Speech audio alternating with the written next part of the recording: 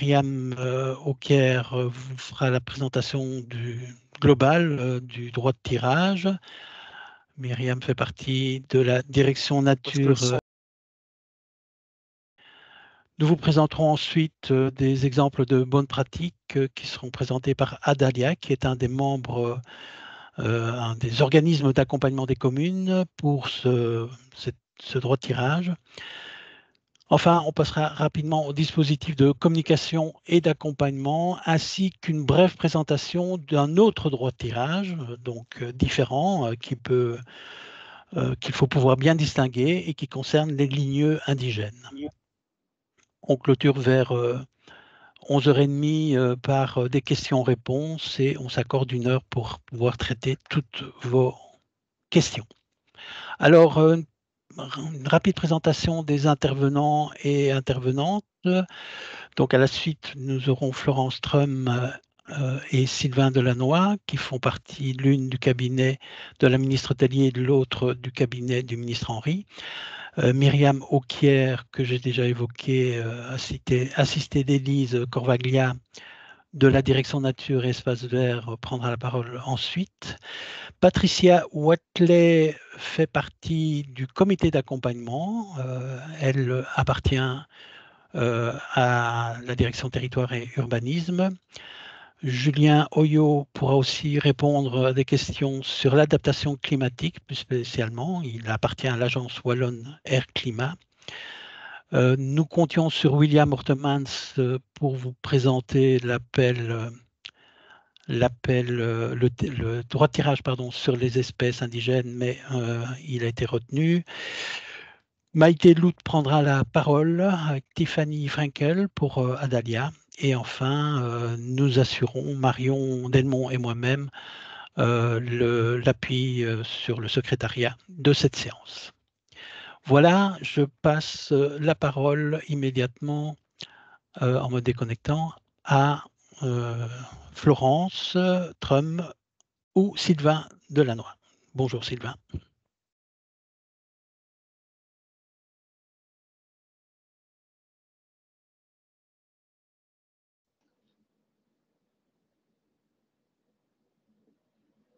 Bonjour à tout le monde, est-ce que vous m'entendez bien? Est-ce que vous voyez également? Le? Oui. Ok.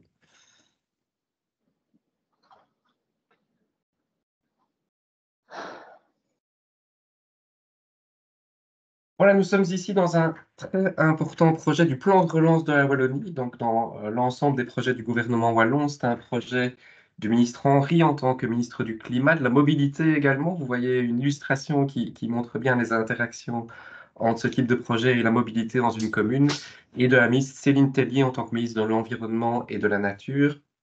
C'est vraiment un projet d'adaptation au changement climatique. On a vu dans notre région, sous cette législature, euh, les impacts du changement climatique s'accélérer, les canicules, les problèmes d'inondation, les problèmes de sécheresse et la vulnérabilité des espaces urbanisés.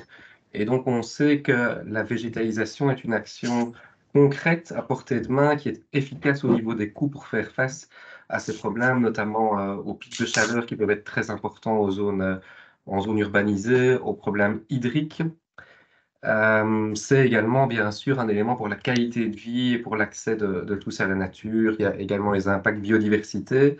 Donc, un, investissement très important du gouvernement wallon sous cette législature dans le cadre du plan de relance, avec 55 millions d'euros qui ont été dégagés au total euh, pour un appel en quatre, enfin pour quatre volets.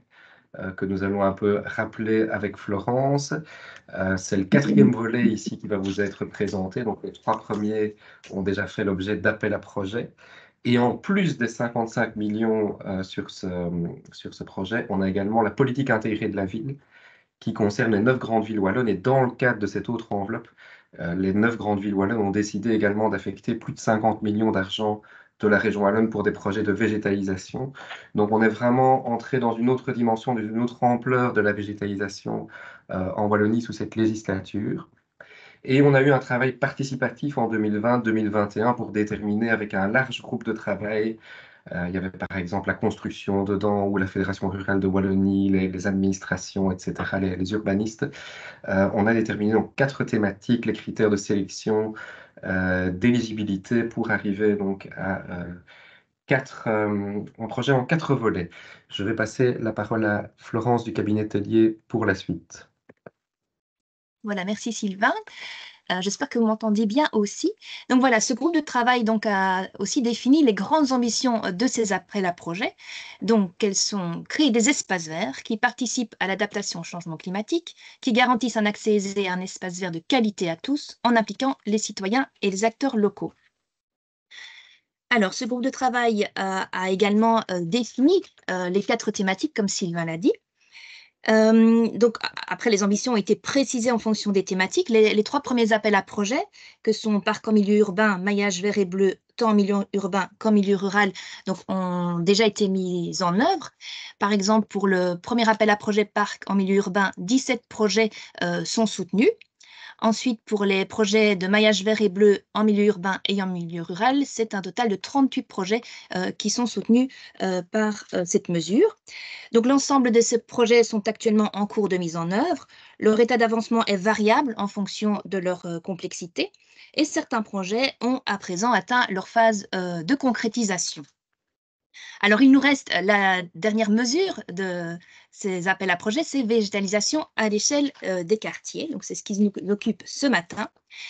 Et donc ici, euh, on a décidé de changer les modalités de mise en œuvre de cet appel à projet. En effet, en février 2023, l'ensemble des membres du gouvernement wallon recevaient un courrier intitulé Stop au financement des actions des pouvoirs locaux par des appels à projets. Ça a été relayé par l'Union des villes et des communes euh, de Wallonie. Et donc, afin de répondre à cet appel tout à fait légitime, euh, les ministres ont décidé de remanier cet appel à projet et, on va dire, de passer d'un appel à projet à un droit de tirage au bénéfice de l'ensemble des 262 communes wallonnes. Donc, c'est un budget global euh, consacré à cette mesure qui dépasse les 30 millions d'euros.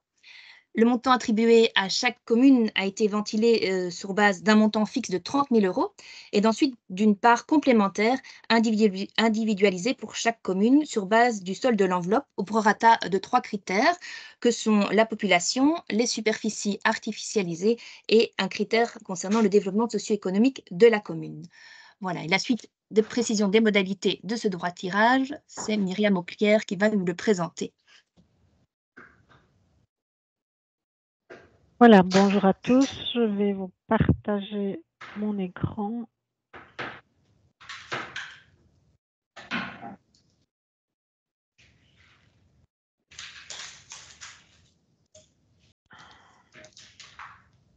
Est-ce que vous voyez mon écran?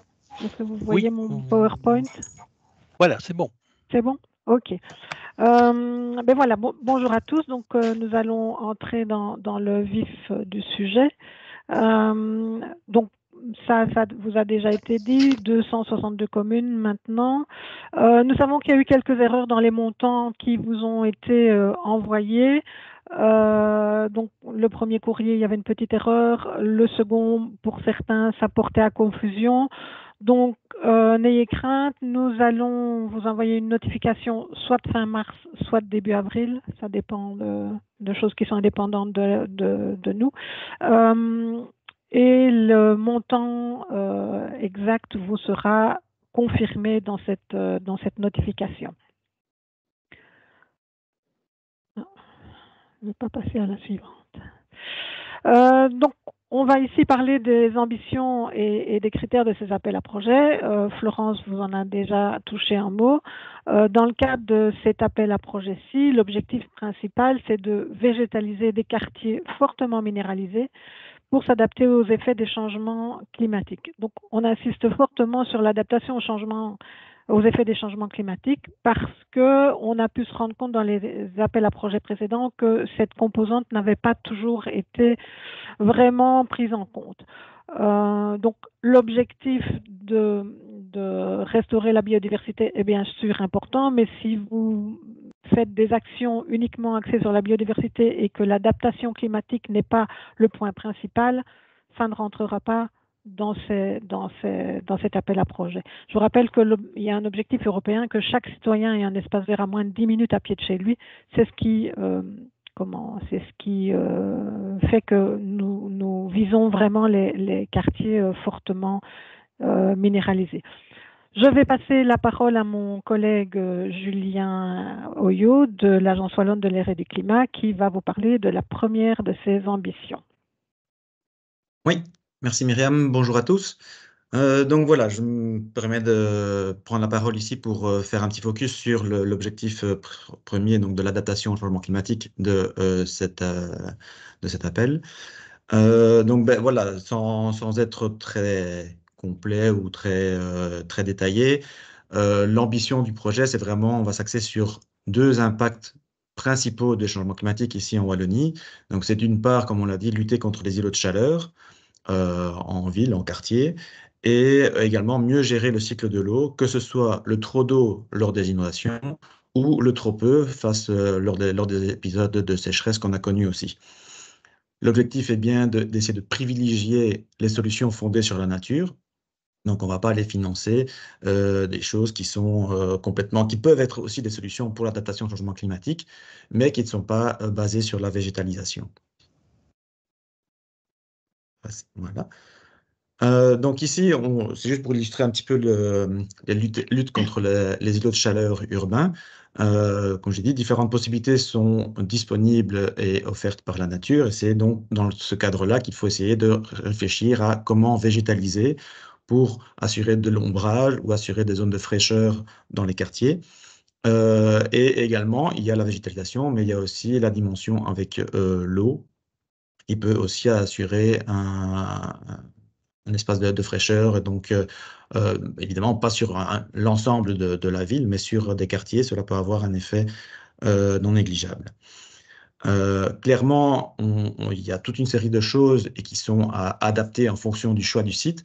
Donc, je le répéterai plus tard, mais dans le formulaire qu'il faudra compléter, le choix du site doit vraiment être justifié de manière euh, à dire, ben voilà, c'est un, un, endroit qui est euh, vulnérable et euh, grâce à ce qu'on va financer ici, on va pouvoir réduire cette vulnérabilité. Donc, c'est pas du tout, on va pas choisir un site parce que ben, là, on va mettre trois, trois plantes pour que ce soit plus joli. C'est pas l'objectif premier de, de, de, l'appel ici. pour vous donner un petit peu aussi une, une sorte de premier guide, dans les solutions, il y a euh, toute une série de, euh, on va dire peut-être priorisation, donc à, savoir que ben, l'idéal, ce serait par exemple de, créer un parc complet au sein d'un quartier, mais bon, fatalement, c'est pas possible partout. Donc, il y a des plantations, que ce soit des arbres, pelouses, on peut faire de la toiture végétalisée aussi. on peut aller vers des plantes grimpantes D'abord, on peut d'abord essayer de privilégier en pleine terre avant de disposer des, euh, des, dépôts, euh, puis façade végétalisée, et comme je disais aussi, voir travailler avec l'eau aussi, avec des plans d'eau, et de gérer les, eaux pluviales. Euh, les eaux pluviales, donc comme je le disais, voilà, ça c'est l'autre thématique, gérer le cycle de l'eau.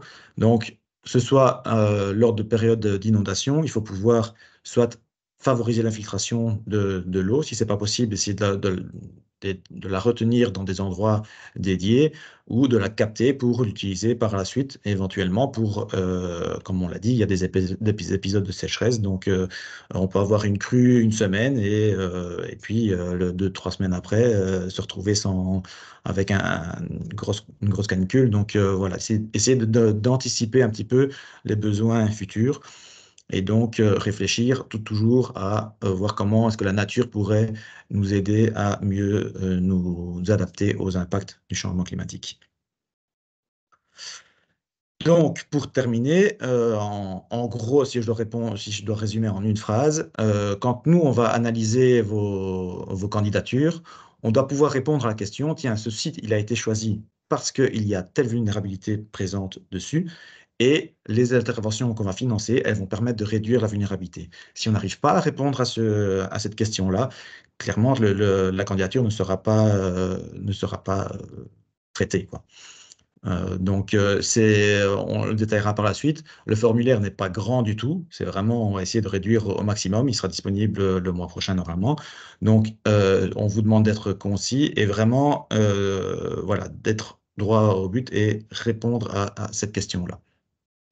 Voilà, je ne pourrais malheureusement pas rester jusqu'à la fin du, webinaire, mais donc n'hésitez pas à en prendre les questions. S'il y a des questions vraiment spécifiques qui me sont adressées, j'y répondrai directement par, par la suite. Donc voilà, je vous souhaite une bonne suite de webinaire.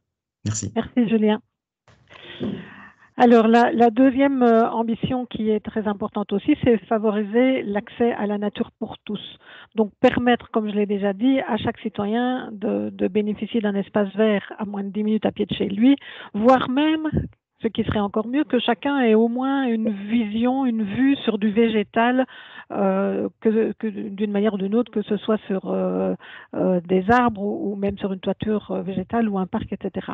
Donc, on privilégie dans ce cas, dans le cadre de ce droit de tirage, les quartiers les plus densément peuplés, les quartiers fortement minéralisés. Euh, on espère aussi que vous pourrez associer la végétalisation au mode doux pour les renforcer et euh, favoriser la, diversité des publics euh, et la diversité d'usages nous paraît aussi importante. la troisième ambition, c'est d'impliquer les citoyens et les acteurs locaux. Alors, dans ce cadre-là, vous pouvez utiliser donc du budget pour créer, le budget ne servira pas à créer des chartes de végétalisation réellement, mais, vous pouvez donc créer des chartes de végétalisation. Nous savons que déjà pas mal de communes ont ce genre de permis de végétaliser ou charte de végétalisation.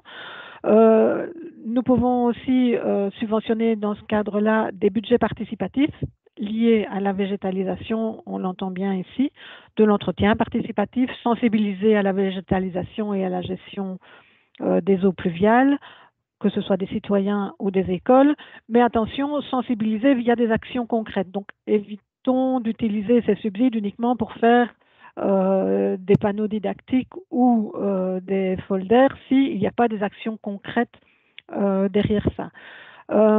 si vous utilisez ces budgets participatifs pour végétaliser des rues ou des primes, par exemple, pour les, pour les citoyens, veillez à ce que ce soit des, des budgets qui servent à avoir un effet de masse, qui aura un impact en effet sur le rafraîchissement euh, ou sur l'infiltration des eaux ou sur l'amélioration de la biodiversité, mais pas une plante au coup par coup, une dans une rue, une dans une autre rue. Donc veillez à, créer des actions qui euh, sont euh, assez massives. Dans les autres critères, ben, il y a bien sûr la sobriété. Ça, c'est un point sur lequel nous accordons, euh, auquel nous accordons beaucoup d'importance. L'amélioration de la biodiversité, bien sûr. L'inclusion de tous. Euh, l'identité du quartier, ça c'est quelque chose qui peut euh, aider aussi à la, cohésion sociale quand on a une végétalisation d'un quartier, de, favoriser euh, une, prise en main de son, de son quartier et favoriser la cohésion sociale et permettre du coup l'acceptation et peut-être aussi limiter le vandalisme. Et bien entendu, la qualité paysagère et urbanistique qui sera quand même prise en compte dans ce que dans ce qu'on exigera. Le formulaire de, candidature. Donc, vous avez pu le voir, euh, il y a le formulaire de candidature qui est l'annexe 2 du Vademecum que vous avez reçu. Euh, il y a deux volets. Le volet A, euh, c'est pour renforcer des actions existantes. Donc, c'est bien clair que vous pouvez renforcer des actions que vous avez déjà dans vos communes, que vous pouvez renforcer euh, des actions de la politique intégrée des villes pour les grandes villes, que vous pouvez renforcer euh, ou prolonger comment, des, projets qui ont déjà été lancés dans le cadre des appels à projets précédents. Attention en gardant à l'idée que ici, ça doit être euh, dans les quartiers euh, fortement urbanisés. Donc, si vous avez fait un projet de tram verte et bleue euh, dans un milieu nettement plus naturel, bah, ce, projet-ci, ce droit de tirage-ci sera difficilement compatible puisqu'on vous demande d'utiliser de, de, végétaliser des, des endroits minéralisés. Donc, on vous demande d'être vraiment concis et très clair dans vos, formulaires. Je vous rappelle que vous êtes 262 communes, que potentiellement chaque commune intéressée peut nous proposer au minimum un projet, mais pour celles qui ont des plus gros budgets, nous proposer plusieurs projets, que pour nous, ça fait autant de dossiers à analyser et que donc si vous nous remettez des dossiers avec euh, trop d'annexes, euh, avec euh, trop de blabla, bah, ils vont un peu être mis de côté parce que nous, on a besoin de concision pour traiter les dossiers dans, dans, les temps. Donc, on vous demande une page maximum par site ou projet proposé, que ce soit pour le volet A ou B. Comme Julien vous l'a déjà dit, il est important de justifier euh, votre euh, projet, le choix du projet face à l'objectif euh, d'adaptation au changement climatique.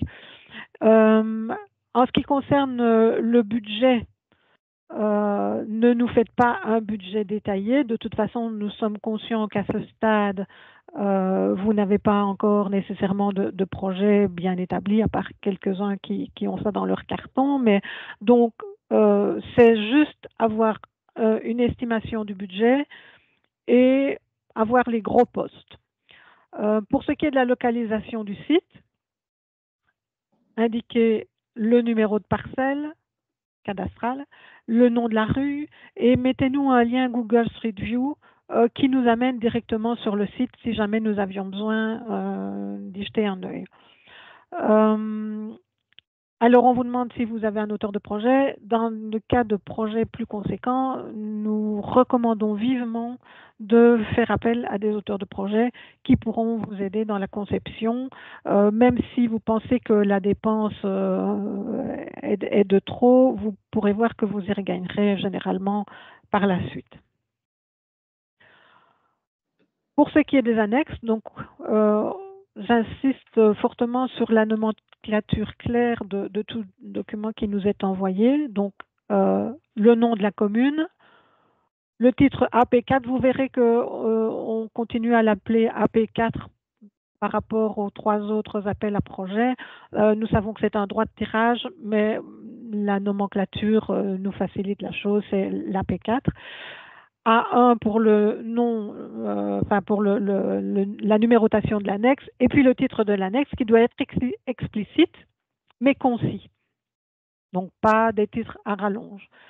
Euh, donc nous vous demandons au minimum d'avoir euh, une carte des îlots de chaleur de la WAC à l'échelle de la commune avec la localisation précise du ou des sites.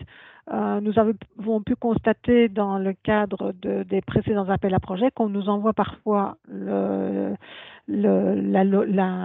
carte des îlots de chaleur où euh, on ne nous localise pas le site et nous n'aurons pas le temps, en tout cas encore moins ici que dans les précédents, à commencer à chercher. Donc, localiser spécifiquement le site dans la carte d'ensemble, puis faites-nous une carte zoomée sur le site concerné, le quartier concerné, euh, avec une localisation. Bon, la localisation, ça peut être un cercle, une flèche en fonction de la taille de, l'espace, mais euh, localisez-nous euh, très bien vos, sites. Euh, une petite précision, c'est que parfois certaines personnes ont un peu de mal à trouver les cartes euh, de la WAC. L'explication se trouvera dans notre onglet de questions fréquemment posées. donc, vous trouverez comment accéder à ces cartes de la WAC. La carte des aléas d'inondation, euh, vous pouvez nous la mettre aussi le cas échéant quand c'est euh, quand c'est problématique dans votre dans votre commune. La carte des ruissellements aussi, euh, le cas échéant, mais là c'est peut-être bien de la voir parce qu'il y a quand même souvent finalement des, des ruissellements. une photo du site ou un lien Google Street View qui montre la rue ou la place concernée, et puis un extrait du plan de secteur. Euh, normalement, en termes d'annexe, ça doit être suffisant. En ce qui concerne le budget, donc euh, le subside, euh, comment subsidie bien 100% du montant éligible. Donc vous pouvez, vous, ce n'est pas comme dans les appels précédents où vous devez mettre 20% ou la commune doit mettre 20% du budget. Ici, 100% du, du, subside peut être alloué aux travaux pour peu que ce soit bien entendu euh, des, des, postes éligibles et on verra ça par la suite. Pour les projets de plus de 100 000 euros, on vous demande d'avoir un contact avec le comité d'accompagnement pour une concertation. Euh, la première chose, c'est de nous envoyer euh, votre euh, requête par mail et puis on verra si il est nécessaire d'avoir une petite réunion par Teams ou pas. parfois, juste le, le contact par mail suffira. On fait un rappel aussi sur la sobriété, que ce soit dans la conception ou dans la gestion future, donc toujours anticiper aussi cette, euh, cette gestion et donc favoriser autant que faire se peut les solutions fondées sur la nature. Euh, donc, toujours se poser les bonnes questions. Julien l'a déjà dit, mais faites-vous cette gymnastique quand vous nous proposez vos, projets. Posez-vous les bonnes questions pour voir si elles entrent, les projets euh, entreront bien dans, la thématique.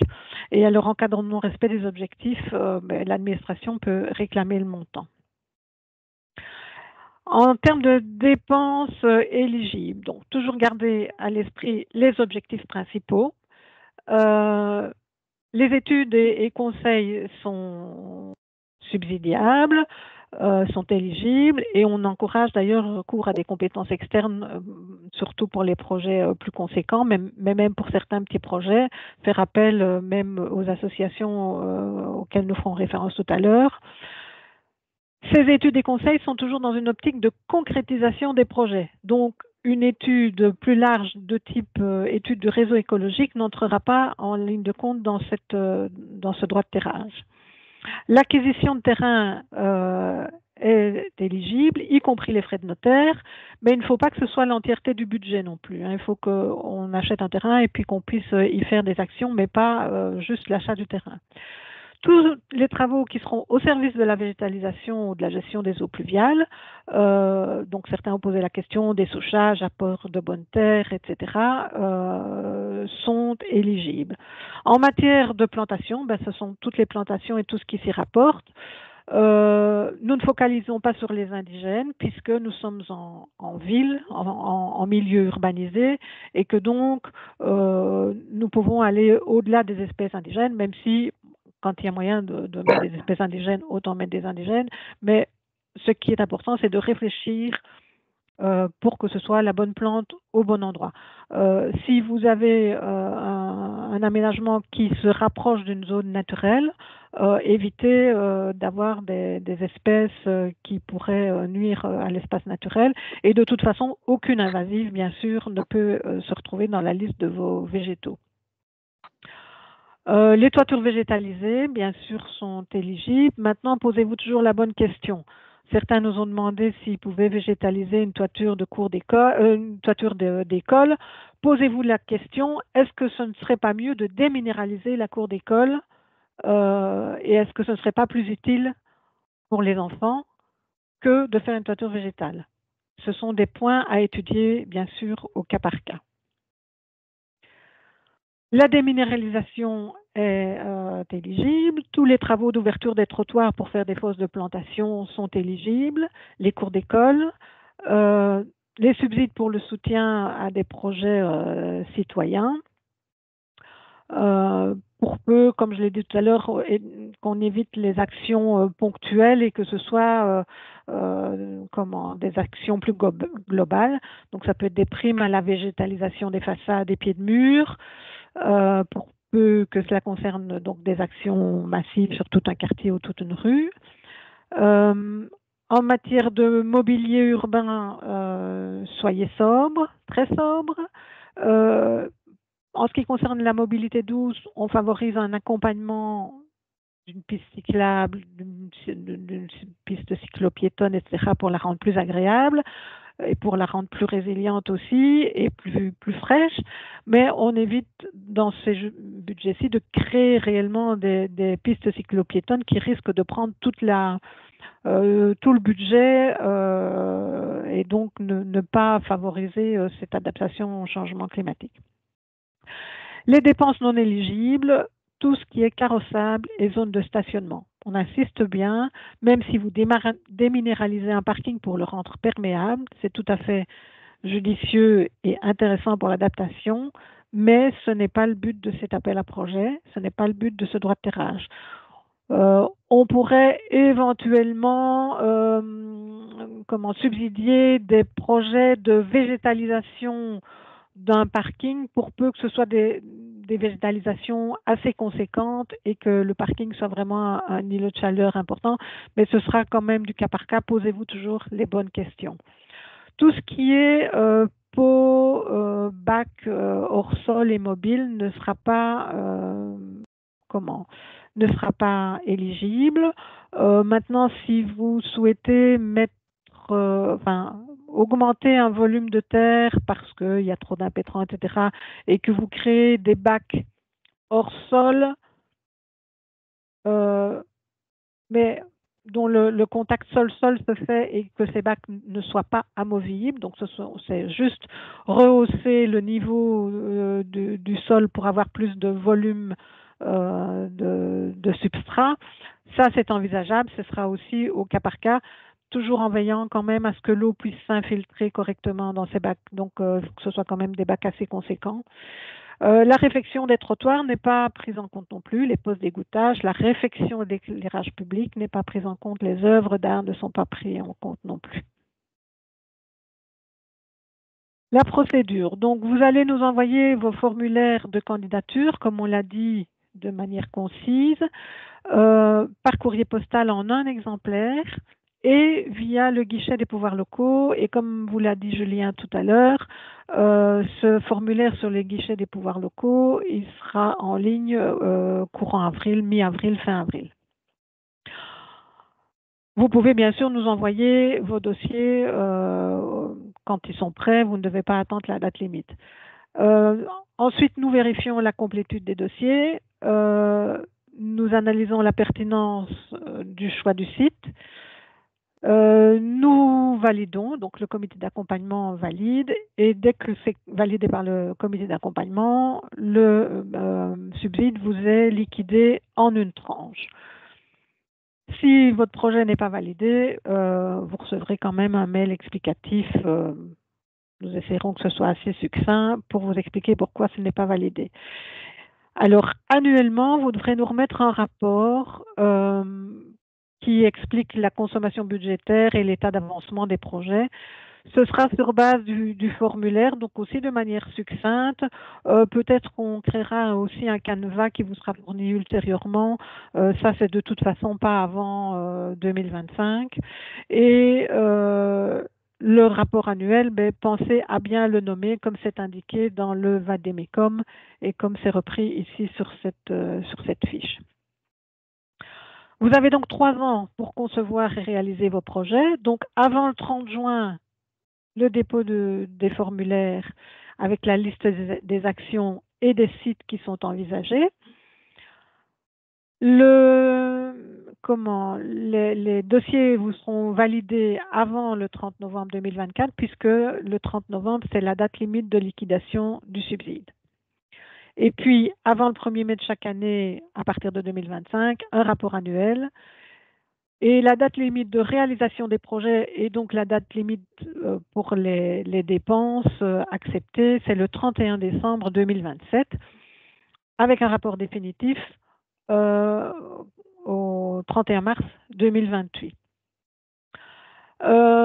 alors, Certains nous ont demandé s'il euh, n'y avait pas de report possible. Malheureusement, non. Euh, je sais que trois mois, c'est court, mais pensez quand même que nous ne vous demandons pas des projets euh, finalisés maintenant. Nous vous demandons de choisir les sites, les actions, de nous expliquer pourquoi, comme Julien vous l'a expliqué tout à l'heure. Donc, malheureusement, nous, on aura tellement de dossiers à analyser qu'on ne peut pas vous laisser des, délais euh, supplémentaires. Je vais maintenant laisser la parole à Adalia qui va euh, vous présenter euh, des exemples de bonnes pratiques dans le cadre de ce droit de tirage. Je laisse la parole à Maïté ou Tiffany. Je vais départager euh, mon écran. Euh, hop. Par contre, oui, je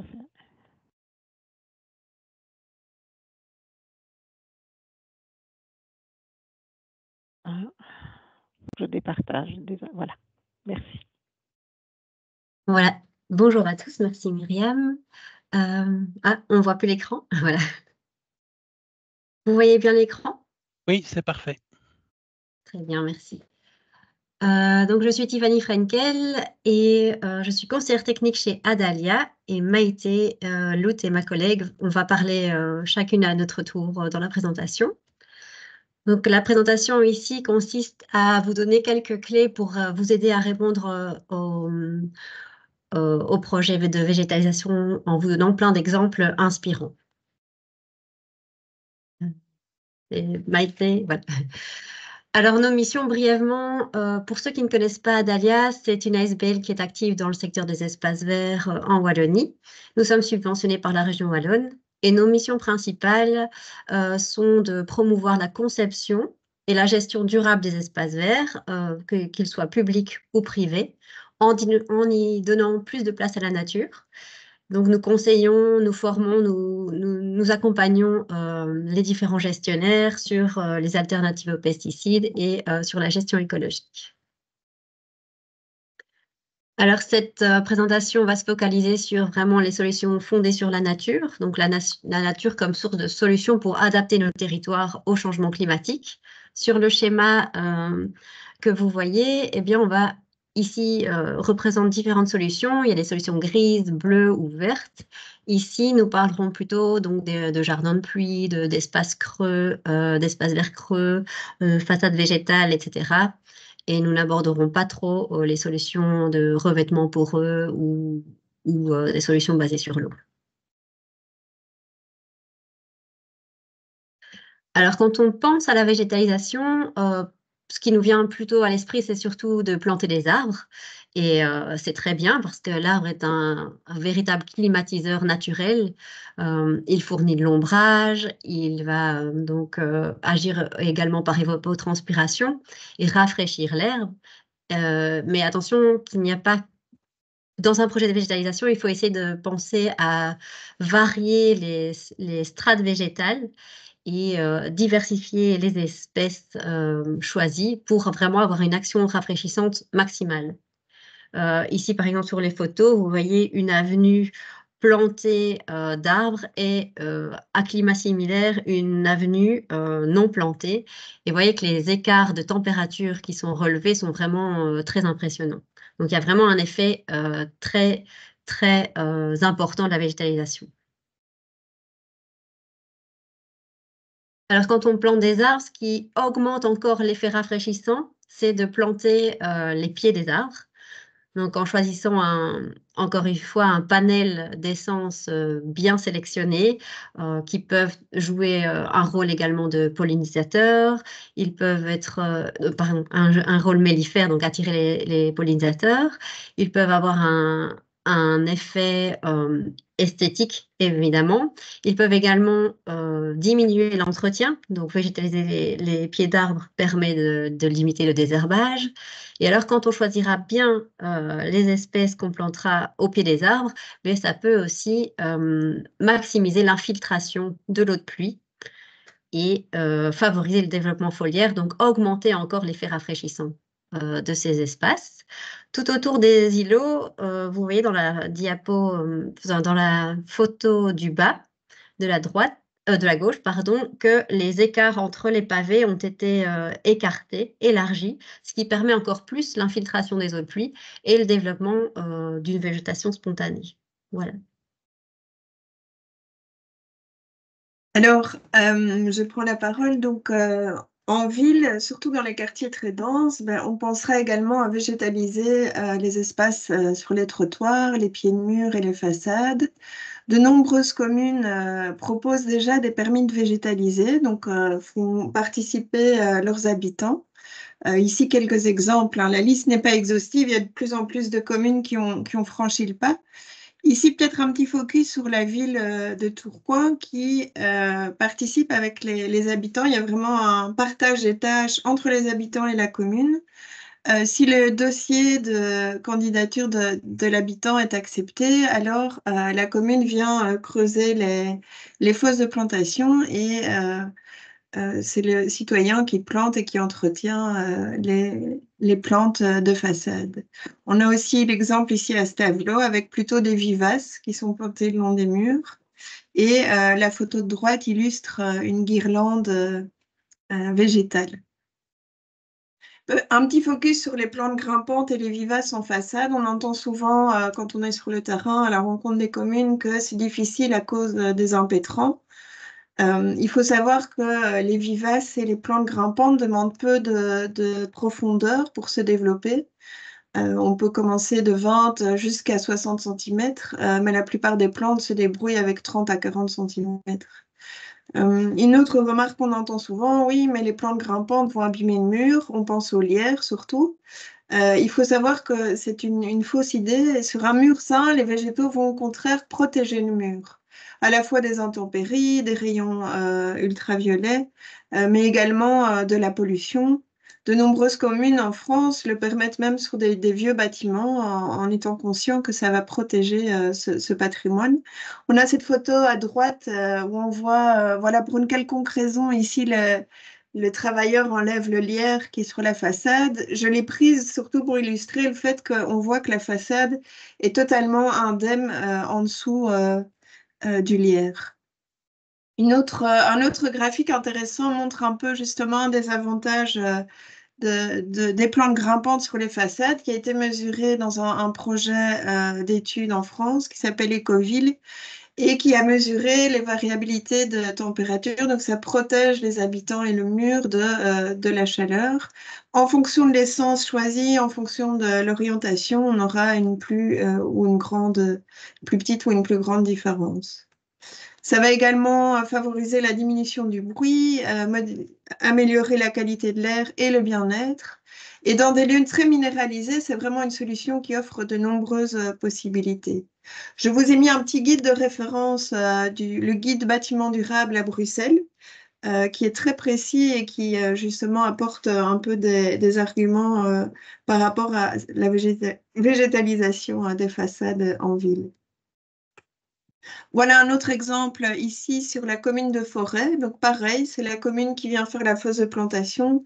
Et là, euh, la pépinière de la commune euh, peut fournir aux, habitants des plantes. Avec ici, vous avez un petit schéma à remplir par euh, les habitants, voilà, pour vraiment construire avec eux et leur faire prendre conscience des conditions, des contraintes par rapport à la végétalisation. On a ici un exemple à Anvers, qui est aussi une ville très, euh, très minéralisée et très dense, euh, avec des guirlandes euh, végétales. Donc on voit que le, résultat est aussi une amélioration de, la qualité du cadre esthétique. Un autre exemple à la ville de Caen, que je trouve assez intéressant parce qu'on voit vraiment donc, cette tranchée qui est réalisée par les ouvriers de la ville. donc voilà, de nombreuses communes ont franchi le pas et n'ont pas eu peur euh, de végétaliser leur, façade. Ici, un exemple de la ville euh, de l'Heureux qui a euh, fleuri donc ses trottoirs. voilà, ici avec des vivaces, avec même des arbres par endroits. Et le résultat est à la fois rafraîchissant, mais aussi augmente le, cadre de, la qualité du cadre de vie. Je peux t'interrompre deux minutes? Oui. Oui, juste euh, sur, euh, si tu peux revenir sur euh, l'aménagement là, pensez aussi à l'infiltration des eaux. je pense que Maïté vous montrera des exemples plus loin, mais laissez les eaux s'infiltrer, évitez les bordures mmh. tout à fait fermées. Merci.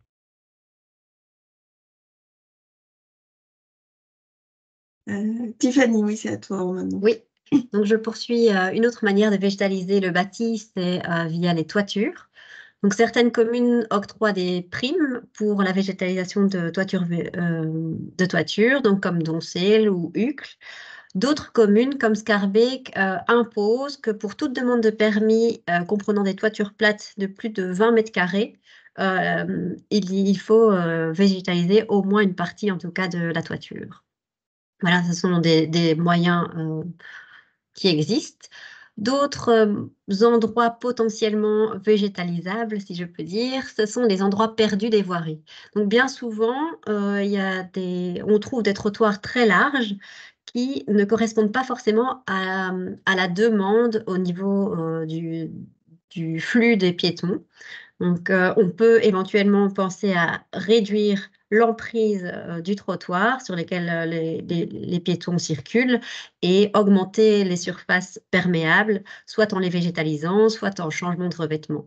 Euh, ici, c'est un exemple de la ville de Nanterre qui a vraiment développé toute une stratégie de déconnexion des eaux pluviales au réseau d'égouttage souterrain et qui a réfléchi à comment euh, vraiment accueillir les eaux de pluie dans les surfaces, dans les, îlots, par exemple. Ici, les zones en rouge dessinées euh, seront, donc, ont été finalement euh, débitumisées et plantées. Et on voit aussi, il faut faire attention au dévers de, du trottoir qui amène vraiment la circulation de l'eau pluviale dans les, les îlots de fraîcheur. On peut passer à la dia suivante, Maïté. Voilà, un autre exemple de la ville de Nanterre. La dia du centre, enfin l'image du centre vous montre euh, la situation avant les travaux. Euh, donc, on voit un revêtement de bitume quasiment partout, euh, un alignement d'arbres, mais dans des fosses individuelles. Et ce qu'ils ont fait, c'est de créer vraiment une continuité au niveau des fosses de plantation des arbres existants euh, ce qui va avoir vraiment un impact positif au niveau des arbres, qui va améliorer leur développement. Ils ont, euh, pour protéger les arbres du piétinement, mis des petites ganivelles en châtaignier tout autour. Euh, juste à côté des plantations, ils ont mis des pavés à joints élargis. Donc, ça permet quand même de marcher sur ces, sur ces pavés tout en euh, améliorant la, perméabilité euh, et l'infiltration des eaux. Et alors, ils ont réduit vraiment l'emprise du chemin euh, en mettant des pavés lissés et, et en permettant vraiment une mobilité aussi des personnes à mobilité réduite sur cette emprise. Donc maintenant, la situation a complètement changé. On vient d'un d'un trottoir euh, pas très euh, esthétique qui ressemble à une avenue, vraiment, on a l'impression de déambuler dans un espace vert, ce qui est beaucoup plus en plus euh, rafraîchissant au niveau de l'adaptation au changement climatique. Oui. Voici donc des exemples de pavés, qu'ils soient des, pavés à joints élargis, des pavés en béton poreux, des, pavés perméables toutes ces solutions existent et peuvent vraiment augmenter euh, l'infiltration des eaux tout en augmentant aussi euh, la, végétation, la verdurisation des, lieux. Et ça peut se faire, donc ici on a des exemples à Lille, à Paris, mais ça peut se faire également dans des zones plus, plus euh, rurales. Un autre exemple ici à, à, Bruxelles, à Forêt, on avait dans l'image de gauche un îlot directionnel qui était en contrebas et donc lors des gros épisodes pluvieux qui se remplissaient d'eau et l'eau stagnait dans, dans cet endroit. Et en plus, il n'était pas très utilisé par la population euh, puisqu'il est vraiment au milieu de, routes assez passantes. Donc, euh, la commune a décidé de l'aménager, de le végétaliser avec différentes strates, etc. Et maintenant, le résultat est celui de l'image de droite avec une amélioration vraiment euh, très euh, réel de l'infiltration des eaux de pluie et en plus un, aspect esthétique très, très agréable. Autre exemple, euh, on peut également végétaliser les îlots directionnels. Ça, c'est une euh, image d'une commune en France, Asnières-sur-Seine, qui, qui a décidé de vraiment privilégier l'accueil de, de l'eau dans ces îlots donc, encore une fois, zéro rejet vers euh, les réseaux, euh, vers les égoutages. Et toute l'eau euh, est accueillie dans les différents. Sur la droite, vous voyez dans les îlots directionnels, vous voyez des plantations. Et comme le disait Myriam, vous avez une bordure qui est à certains niveaux coupée, ce qui permet vraiment aux eaux de la voirie de s'infiltrer dans euh, dans les plantations. Alors les plantations en plus étaient choisies parce qu'elles avaient un effet filtrant et dépolluant euh, pour permettre vraiment à l'eau de s'infiltrer et euh, aller réalimenter la nappe phréatique. Alors maintenant, je vais vous présenter quelques projets de végétalisation qui se sont réalisés en France, mais aussi en Belgique, et vraiment les clés de réussite. Donc l'opération Strasbourg, ça pousse, qui se fait bien à Strasbourg comme son nom l'indique, euh, vient vraiment d'une volonté politique de renforcer la nature en ville euh, avec, en impliquant les citoyens. Donc, euh, euh, les objectifs étaient vraiment de faciliter l'infiltration, encore une fois, de l'eau de pluie et de réduire les îlots de chaleur urbains. Alors, quelques chiffres. Euh, au total, sur l'année 2018, 227 mètres carrés de surface ont été désimperméabilisés puis végétalisés par les citoyens. Et le coût annuel de cette déminéralisation supportée par la commune est de 100 000 euros. Donc, ce, qui est, ce qui a favorisé la, réussite de ce projet, c'est d'abord ben, le soutien politique. Vraiment, les, politiques étaient euh, derrière euh, euh, ce projet. Les démarches étaient simplifiées. Donc, c'est une plateforme qui est en ligne dans laquelle les citoyens peuvent venir entrer leurs demandes de projet et de manière assez simple. c'est géolocalisé sur toute l'entité. Et les porteurs sont accompagnés du début à la fin par la commune. Ils doivent s'engager en signant une charte de végétalisation, euh, par exemple à ne pas utiliser de pesticides et également à ne pas euh, planter d'espèces invasives, à favoriser les espèces locales. Euh, ça, ce sont voilà, quelques points les plus importants de la charte, mais il y en a d'autres. La charte est disponible en ligne aussi si vous voulez aller y jeter un coup d'œil pour vous en inspirer. Et ce qui a été très porteur aussi dans la réussite de ce projet, c'est que différents services communaux ont collaboré, à savoir le service travaux, le service euh, participation, le service environnement, voilà, le service tourisme également. Voilà. Ça, ça aide vraiment aussi dans la réussite et dans la pérennisation d'un projet.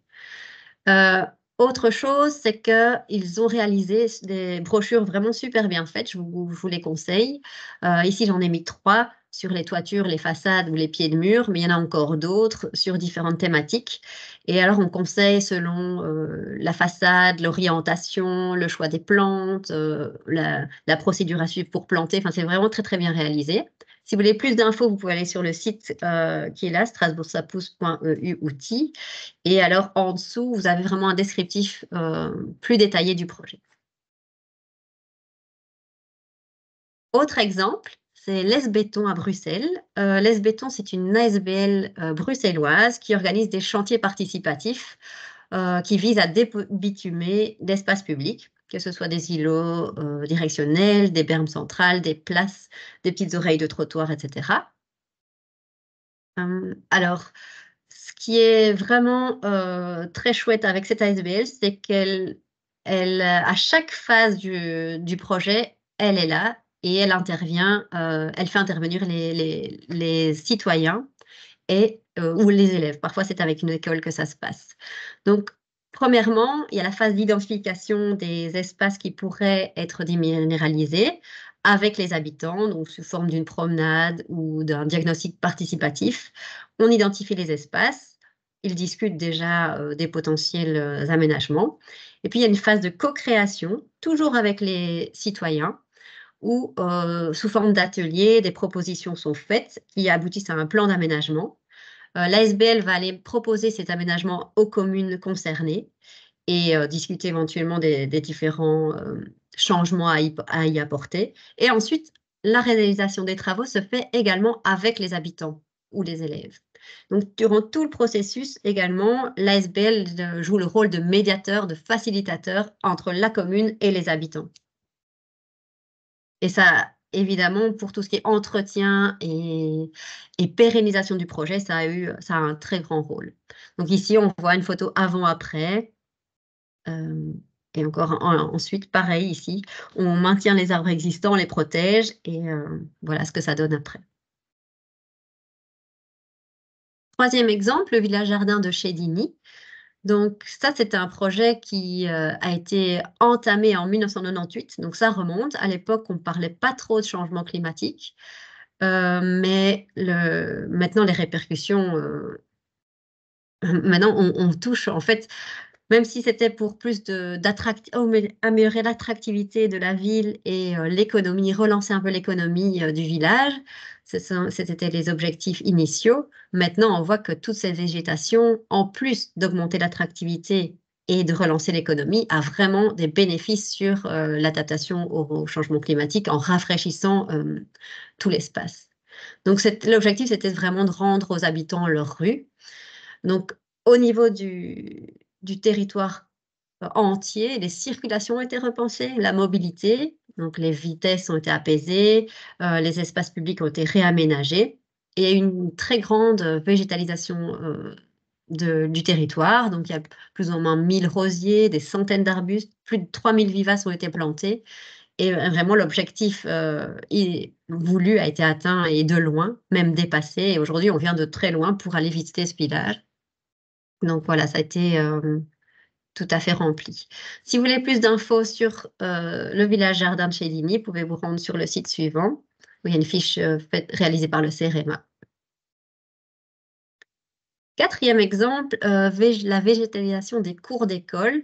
Donc ici, j'ai cité Lille, mais il y a énormément de villes de grandes villes qui se sont lancées dans l'aventure de végétaliser les écoles euh, parce qu'elles voient très bien qu'au niveau des écoles, ça constitue vraiment un gros, gros îlot de chaleur, la cour minéralisée. Et le fait d'apporter euh, de la végétation, ça va vraiment, en plus de, rafraîchir euh, la ville, eh bien, ça va permettre parfois à des citoyens de l'extérieur qui n'ont pas l'accès à des espaces verts de pouvoir y pénétrer lors des vacances ou parfois euh, des, week-ends. Euh, les enfants se sentent beaucoup mieux, il y a moyen de créer vraiment euh, une mixité aussi dans la cour. Enfin voilà, il y, a, plein de choses bénéfiques dans la végétalisation des, cours d'école. Donc ici, je, je, me suis centrée sur Lille, mais il y a donc un projet de la ville de Lille qui a végétalisé euh, toutes ces écoles, 100% de ces écoles, 79 écoles au total, mmh. et qui a voulu végétaliser un tiers euh, au moins de la surface des écoles. Et un autre tiers de l'école, euh, donc vous avez un tiers de surface végétalisée, et dans les deux tiers restants, au moins un tiers sera perméable, donc en changement les revêtements. Donc ici, vous avez une photo avant-après qui, qui, donne vraiment bien, voilà, euh, je laisse la parole à Maïté. Pour oui. Alors, euh, un autre exemple inspirant, encore plus proche euh, de, chez nous, c'est la ville d'Anvers et ses rues jardins. donc, la Flandre et Anvers en particulier sont beaucoup plus minéralisées que, que chez nous. et donc, l'objectif de la ville, c'est de développer une stratégie pour augmenter la verdure et la fraîcheur, la végétalisation, et de maximiser l'infiltration de l'eau.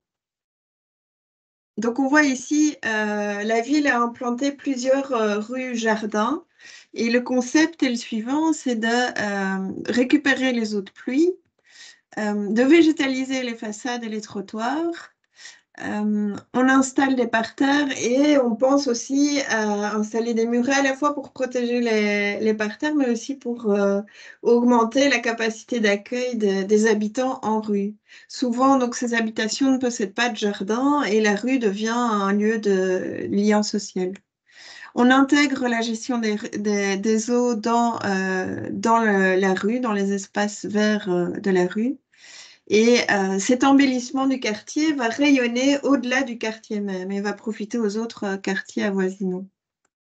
Voilà quelques exemples de photos avant-après. Donc, c'est vraiment les, quartiers les plus denses euh, de la ville d'Anvers. on voit la photo ici après qui est assez impressionnante. Je trouve le contraste avant-après. On a des pavés engazonnés, on a des plantes grimpantes, des parterres. Voilà quelques photos hein, euh, prises encore euh, de, la rue. Euh, les clés de la réussite, on en a déjà parlé, hein, mais vraiment la participation des habitants est, très importante et ils sont inclus dès le départ dans la conception. Donc, ils, participent à l'identification des besoins de la rue. Dans cette rue, par exemple, il y avait beaucoup d'enfants et donc on a inclus aussi des aspects ludiques euh, pour, euh, pour ces enfants. Ce, processus va renforcer le lien social et puis même les espaces verts par la suite euh, contribuent à, à, la cohésion sociale. Ce qui est un plus aussi, c'est en intégrant la gestion des eaux à la parcelle, on peut aussi, on, diminue les coûts de gestion des eaux. Et donc, les acteurs de gestion des eaux ont participé à ces projets et les ont financés. le résultat actuellement, donc ces projets ont été réalisés il y a 3-4 ans. le résultat, c'est qu'il n'y a pas d'augmentation du coût d'entretien. Dans cette rue-là en particulier, les, espaces verts sont entretenus par, euh, les habitants pour 70%. Ils sont en train de, faire un suivi, donc euh, ils essayent d'en tirer les leçons. Euh, et voilà, je ne vais pas rentrer trop dans les détails, mais on voit que les espaces verts ont fortement augmenté par rapport à la situation de départ. Les coûts sont importants, mais il y a une bonne partie qui est quand même financée par les, acteurs de gestion des eaux.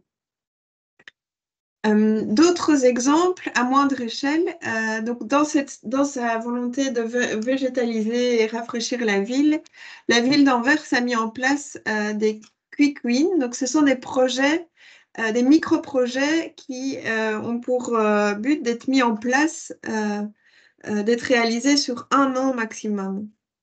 Euh, les conditions, bien entendu, c'est de faire attention aux impétrants, c'est que la surface minimale de végétalisation soit de 30 mètres carrés avec un minimum de 10 mètres carrés en continu. Euh, on fait participer les citoyens dans ces projets. Pour les plus gros projets, il s'agit plutôt d'une consultation. Euh, au total, donc, la ville a végétalisé plus de 11 000 mètres carrés avec un budget de 2 millions d'euros, donc on arrive aux alentours de 196 euros euh, du mètre carré. Voilà quelques exemples euh, de photos avant-après avec des végétalisations de, coins perdus, on va dire. Voilà ici avant-après. Ici, un lieu euh, fortement minéralisé et on a l'avant et puis l'après. donc, on voit vraiment que ce sont tous des espaces qui finalement ne servaient pas à grand-chose, qui ont été végétalisés. Euh, dans ces quick wins, euh, plusieurs mesures ont été mises en place, dont les parterres infiltrants dont parlait euh, Tiffany. Donc on voit ici hein, vraiment toutes les eaux de ruissellement, que ce soit des toitures aussi, des, habitations, mais les eaux de ruissellement des trottoirs et des voiries sont recueillies dans ces parterres. En fonction de la perméabilité du sol, on aura ou non une couche de gravier en dessous euh, qui augmentera la capacité d'accueil euh, des eaux euh, de pluie.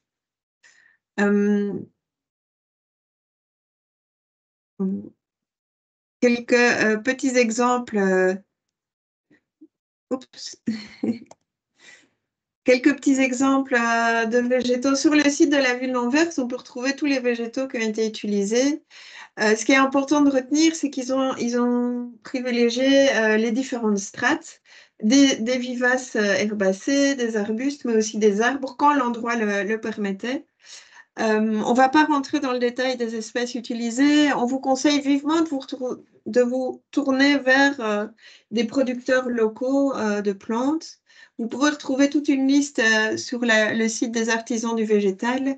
et sinon, il existe aussi d'autres pépinières locales. mais vraiment, on vous, on vous, encourage à leur demander conseil. Ils pourront euh, normalement vous conseiller. Sinon, la SBL et COAL pourrait également euh, vous conseiller sur les plantes euh, à installer. bien faire attention aux plantes invasives. et voilà, étaler, mélanger indigène et horticole pour favoriser une floraison étalée.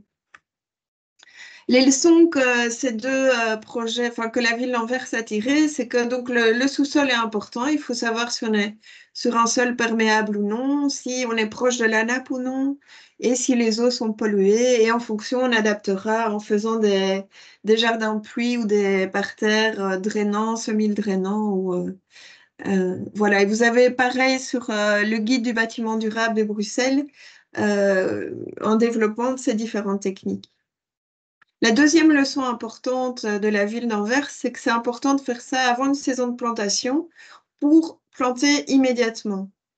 Euh, ça permet d'augmenter forcément la, reprise euh, végétale. Vous pouvez retrouver euh, les détails de ces projets sur le site Blaugrun Vlaanderen. voilà. Euh, je vais passer rapidement sur deux petits projets euh, qui ont été euh, réalisés sur deux communes. Là, l'objectif, c'est juste pour vous montrer l'importance d'améliorer la condition de vie de, vos arbres, de préserver l'actuel. Ici, on a un arbre qui a très peu de surface perméable, donc peu d'eau, peu d'oxygène, peu de matière organique qui vient enrichir le sol.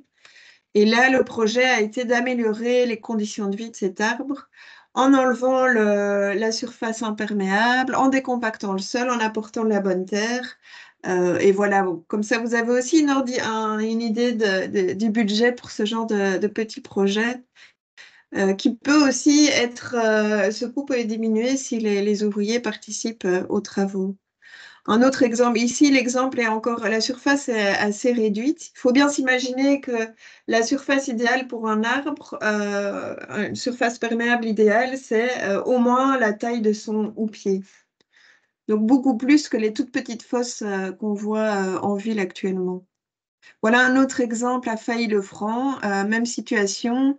et là, la surface a été beaucoup plus grande. On arrive à un, un budget encore tout à fait raisonnable pour, ce genre de mesure. Voilà, donc je poursuis et je termine avec euh, les sept règles d'or euh, pour planter sans se planter, donc qui ont été faites dans un guide du CEREMA. Donc tout d'abord, varier les espèces et éviter les monocultures parce que face au changement climatique, on ne sait pas vraiment encore dire quelle espèce résistera mieux. Donc l'idéal, c'est de varier euh, les essences et de, procéder un peu à, par essai-erreur et voir ce qui, ce qui, convient le mieux. Euh, aussi euh, le local et privilégier la biodiversité parce que c'est vrai qu'on on ne peut pas exclure les essences non indigènes, mais les arbres indigènes sont des refuges pour la faune locale les oiseaux, les pollinisateurs, et ceux qui viennent d'ailleurs un peu moins quand même. Donc, euh, sans renoncer totalement aux exotiques, ben, on, essaye de penser euh, un peu plus en, faveur du local. Euh, le platane, par exemple, il est présent chez nous depuis plus de 300 ans, je pense, et pourtant cette espèce qui est bien acclimatée n'est associée qu'à deux types d'insectes contre 400 pour le chêne ou le saule, par exemple. Donc, Troisième règle, c'est planter euh, jeune. On aurait euh, tendance à vouloir planter un arbre mature pour vite profiter de ses bienfaits, euh, mais ce serait une erreur parce que non seulement ben, c'est plus cher à l'achat, et ça limite aussi ses chances de survie. car plus un arbre est grand, plus son système racinaire va être bien développé et le transplanter va vraiment le, générer un grand stress. Quatrième règle, c'est de planter le bon arbre au bon endroit. Donc, euh, anticiper aussi euh, la taille que l'arbre aura euh, adulte, puisque le fait de, tailler un arbre, ça va quand même très souvent et drastiquement, ça va lui causer aussi du stress. on va anticiper ses besoins en eau en adaptant la fosse de plantation. On voit, souvent, on pense que on n'a pas beaucoup de place vu les impétrants, etc. Mais essayer de dimensionner une fosse de plantation le plus grand euh, possible, ça va vraiment euh, donner toutes ses chances à l'arbre euh, plus tard.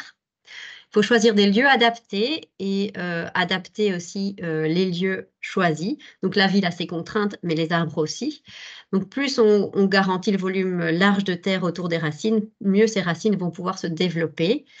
Euh, une fosse de plantation des études ont montré qu'une fosse de plantation de minimum 9 mètres cubes était euh, l'idéal pour un bon développement de l'arbre. Au plus, au mieux, évidemment. Euh, alors, tu peux tourner.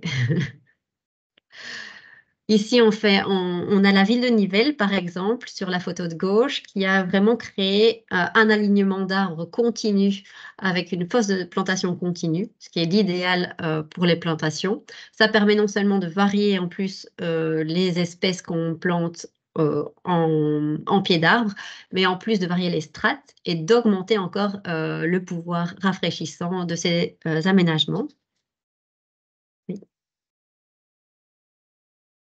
Alors, un petit zoom sur les arbres de pluie. Qu'est-ce qu'un arbre de pluie? Ben, On en a déjà parlé, mais c'est un arbre dont la fosse de plantation est conçue pour gérer une partie des eaux de ruissellement et favoriser le développement de l'arbre et de la biodiversité, donc euh, celle du sol y compris. Donc, quelques images, on voit vraiment que l'entrée des eaux pluviales va aller alimenter la fosse de l'arbre. Si vous voulez une fiche technique pour les arbres de pluie, on vous en a mis une en bas, via le lien en bas. Vous aurez les présentations. Alors, les, arbres de pluie, eh bien, ça permet euh, de planter dans un sol qui est en légère dépression pour accueillir le stockage en eau. plus la surface désimperméabilisée autour de l'arbre est grande, plus l'infiltration euh, sera rapide et importante. Et alors, éviter aussi, comme la, Myriam l'a dit, les bordures autour de l'arbre. Donc, ces deux photos-là sont plutôt à éviter. Et plutôt dans la dia suivante, on voit euh, ce qui est possible. Ici, soit vous créez des petits, euh, des petits trous dans euh, la bordure pour laisser passer l'eau euh, dans la, plantation qui est un peu en contrebas, soit à droite, vous le voyez, il y a des petites, des genres de petites rigoles qui ont été creusées dans les bordures existantes à différents intervalles pour permettre aussi, grâce au dévers de la chaussée, à l'eau de s'infiltrer dans le dans l'espace vert qui est plus creux également. Je peux aller à la dia suivante. Alors ici, ce sont encore d'autres euh, exemples d'arbres de pluie ou d'îlots euh, en contrebas, creux qui vont permettre de récolter l'eau. Là, c'est à New York, il y a vraiment un grand euh, creux qui a été réalisé dans la bordure. Et celle de droite, dans la dia droite, vous voyez qu'il y a une zone, une tranchée drainante qui a été réalisée avant pour permettre aux eaux de d'abord passer dans la tranchée drainante, puis ensuite dans le, parterre pour euh, temporiser et encore plus infiltrer une grande quantité d'eau euh, de pluie lors des épisodes pluvieux importants. vous voyez que ça marche. Hein. ici, on voit qu'en cas de pluie, grâce au dévers de la route, tout rentre dans les parterres. Et en plus, ça donne un effet esthétique important. Donc, sixième règle pour végétaliser sans se planter, c'est d'éviter les arbres qui seraient allergisants ou qui, euh, seraient consommateurs d'eau, trop consommateurs en eau ou polluants. Euh, donc, il y a certaines espèces comme l'eucalyptus, par exemple, qui est adapté, lui, au climat aride, évidemment. On en trouve peu chez nous. Mais euh, à titre d'exemple, lui, il peut puiser l'eau vraiment en profondeur et provoquer un rabattement des nappes phréatiques. Euh, il y a d'autres arbres qui peuvent aggraver la pollution en émettant des composés chimiques euh, volatiles lors des pics de chaleur, par exemple. Euh, donc, septième et dernière règle, c'est gardons nos vieux arbres. Effectivement, avant d'en planter de nouveaux, essayons, comme Maïté l'a dit précédemment, de, préserver le patrimoine existant. les arbres matures, sont, en effet, sont ceux qui rendent le plus grand nombre de services écosystémiques. ce qui nous renvoie à un outil qu'on vous euh, sésame, euh, qu'on vous présente ici. Donc, vous pouvez y aller, c'est gratuit. Euh, ça vous permet d'identifier les espèces qui sont les plus à même à produire les services attendus dans le cadre de projets d'aménagement ou de végétalisation. Donc, ça peut vraiment vous aider à choisir des, arbres aussi lors de vos projets de plantation. Voilà, moi j'en ai fini pour moi. Merci.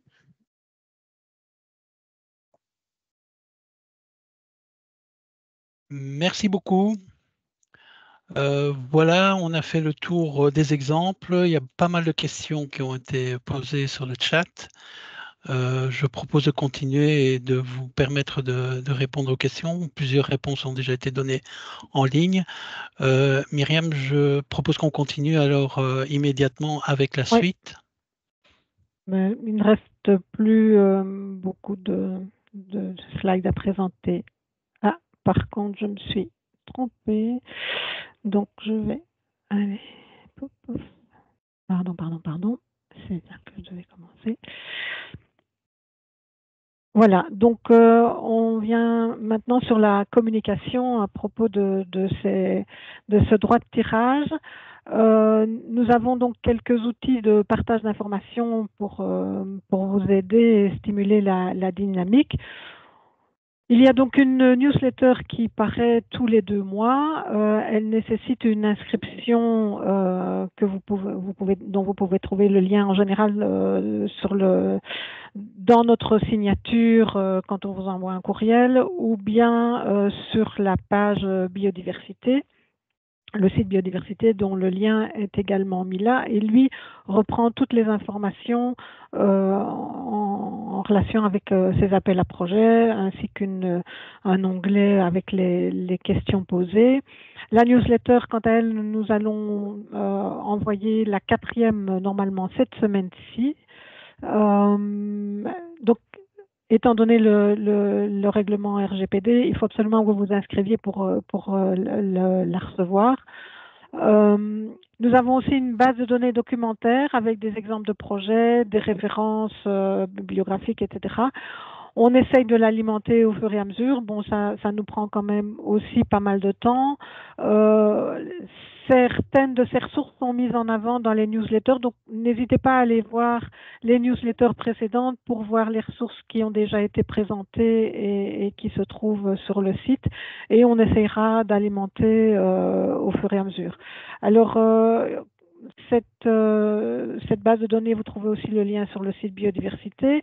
Euh, on réfléchit à revoir le type de classement euh, qui y est euh, actuellement et donc ça pourrait changer prochainement de manière à ce que la recherche soit plus, plus intuitive. Il y a aussi un soutien à la carte par le comité d'accompagnement. Alors, donc le comité d'accompagnement, on vous l'a dit, ce sont les représentants de l'Agence wallonne de l'air et du climat et puis du SPOE ARN principalement la direction de la nature et des espaces verts, euh, territoire urbanisme et euh, intégration et action sociale. Les contacts doivent se faire exclusivement via la plateforme, euh, l'adresse générique qu'on vous a déjà à plusieurs reprises. J'insiste sur le fait que les courriels que vous nous envoyez reprennent le nom de la commune, l'appel à projet dont il est question, hein, parce que de certaines de certains d'entre vous ont déjà participé au, premier, au deuxième ou au troisième appel à projet. Donc, notez bien pour quel appel à projet la, question euh, à, quel appel à projet pardon la question se réfère et l'objet du mail aussi de manière concise, mais ça nous permet de gérer plus facilement. Euh, on est vraiment une très, très, très petite équipe derrière euh, ces appels à projets. Et donc, euh, on vous demande quand même de l'indulgence si on ne vous répond pas dans la journée, ni même parfois dans, les deux ou trois jours. si vous n'avez pas de réponse au bout d'une semaine, ben, reposez la question. Elle se retrouve peut-être en, bas de page, mais on essaye de faire notre possible pour vous répondre comme on peut.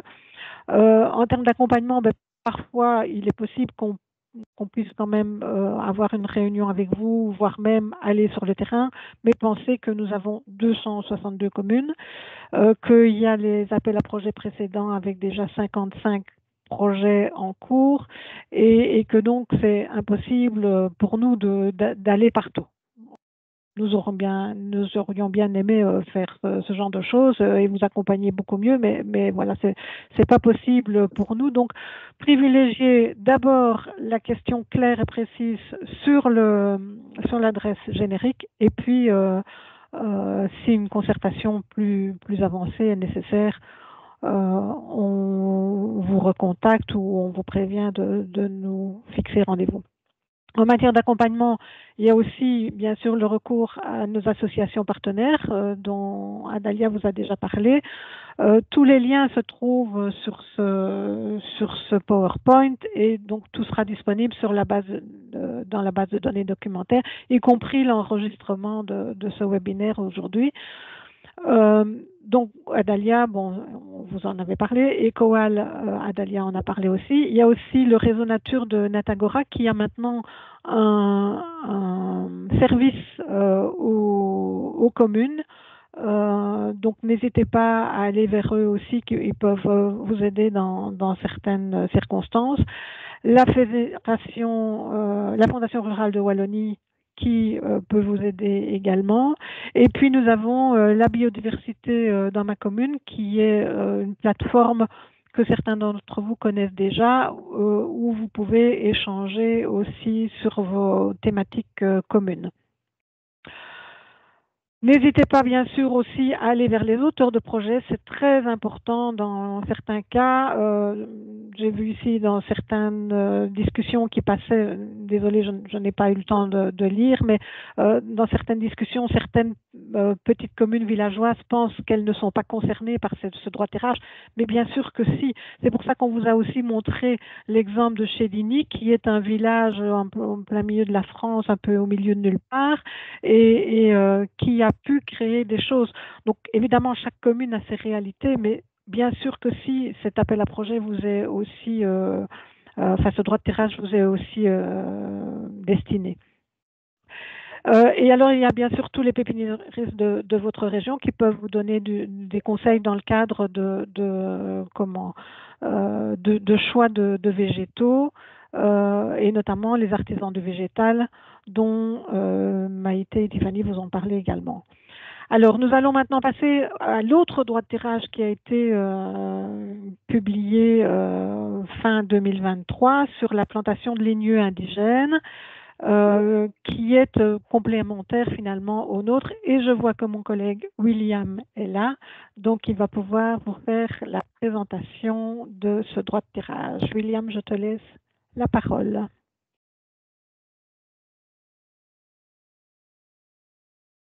William? Ah. Euh, je, je, vois son image, je vois qu'il est là. Oui, mais... William, il faut brancher ton micro. Son image est très fixe. Oui, il y a peut-être un problème. Euh, bon, il m'avait demandé de présenter si jamais il ne pouvait pas participer. Donc, euh, je vais y aller. Euh, donc voilà, je suis désolée, je ne maîtrise pas euh, ce droit de tirage, donc je vais plutôt lire les, les de, William. Veuillez m'en excuser. Donc voilà, ce, ce, droit de tirage est lié au programme Yes We Plan qui a été lancé par la ministre Céline Tellier, avec euh, une euh, vision européenne à 2030 de planter 3 milliards d'arbres. Euh, le but est aussi de renforcer le maillage écologique, euh, notamment dans l'espace agricole principalement, et euh, d'améliorer euh, l'environnement, notamment euh, en tout ce qui concerne l'érosion, les inondations et la dérive des aux pesticides.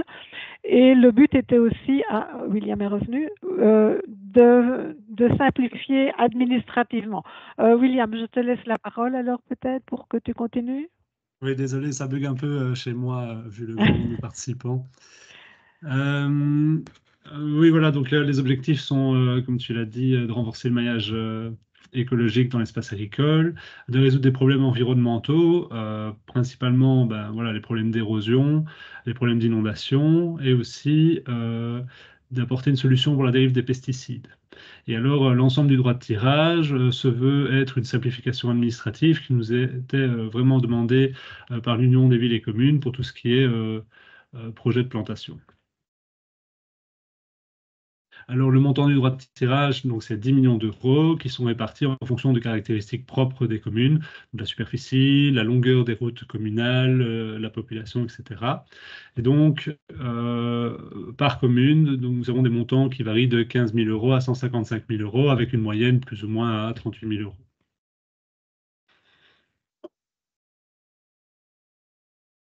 Alors, les projets éligibles sont la plantation de haies, de bosquets, d'alignements d'arbres, de buissons, même d'arbres isolés. Et euh, en dehors des espèces indigènes, on a aussi autorisé la plantation de sylphi ou de miscanthus, euh, mais sous réserve d'un avis positif euh, de deux instances, du département de l'environnement et de l'eau du SPW et de la SOCOPRO. Ces deux plantations visent à justement lutter contre la dérive de pesticides. Et alors, euh, les frais éligibles sont bah, donc tout ce qui est nécessaire à la plantation. Donc, attention, pas l'entretien, hein, juste la plantation. Donc, ça veut dire bah, l'achat d'arbres, d'arbustes, de plants de haies, mais aussi pour tout ce qui est protection, donc du paillage, des tuteurs, des protections de plants, euh, l'achat de fertilisants. Et également la location de machines, mais pas l'achat de, de matériel, hein, donc euh, la location de machines, pas l'achat de pelles, etc., par exemple.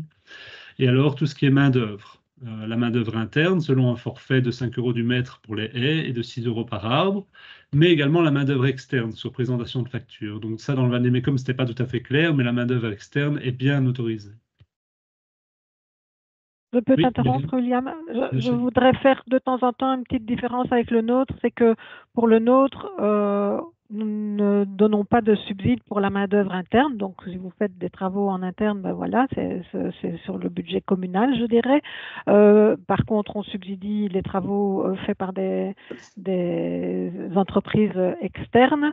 Mais donc, voilà, ce, sont des petites différences et il faudra bien faire le- la, la nuance entre ces deux droits de tirage. Je sais que c'est pas simple pour vous euh, qui avez reçu euh, ces, ces deux droits de tirage à peu près en même temps. C'est pour ça qu'on voulait présenter le droit de tirage de, des lignes indigènes aujourd'hui pour faire un petit peu la nuance. Merci, William. Avec plaisir. Euh, donc, euh, il y a toute une série de recommandations que vous retrouverez dans le VDMECOM. Donc, on, veut que les projets euh, soient conçus dans une optique de durabilité, avec une attention particulière par rapport à la réduction des coûts, de la consommation des ressources, veiller à ce que les projets ne demandent pas trop d'entretien et pas trop d'arrosage. Donc, euh, on aimerait bien aussi que vous veilliez à une euh, bonne adéquation entre les essences et le contexte local, euh, que vous privilégiez les essences entomophiles et que vous privilégiez une diversité maximale d'essences. Donc ici, ce sont des recommandations, on ne pourra pas venir vérifier chaque projet, mais donc voilà, c'est des grands principes, des bonnes pratiques à suivre. Alors, petite, petit encart sur les frais qui ne sont pas éligibles ici.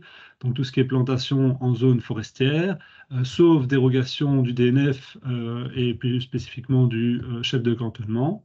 Tout ce qui est plantation hors sol, donc on entend par là dans des bacs, dans des pots. Les essences qui ne sont pas indigènes, sauf les deux que j'ai présentés euh, avant dans des projets spécifiques. Les forêts de type Miyawaki, donc les micro-forêts, euh, donc c'est un peu confusif parfois de déterminer qu'est-ce qu'une euh, forêt Miyawaki et qu'est-ce qu'un bosquet par exemple.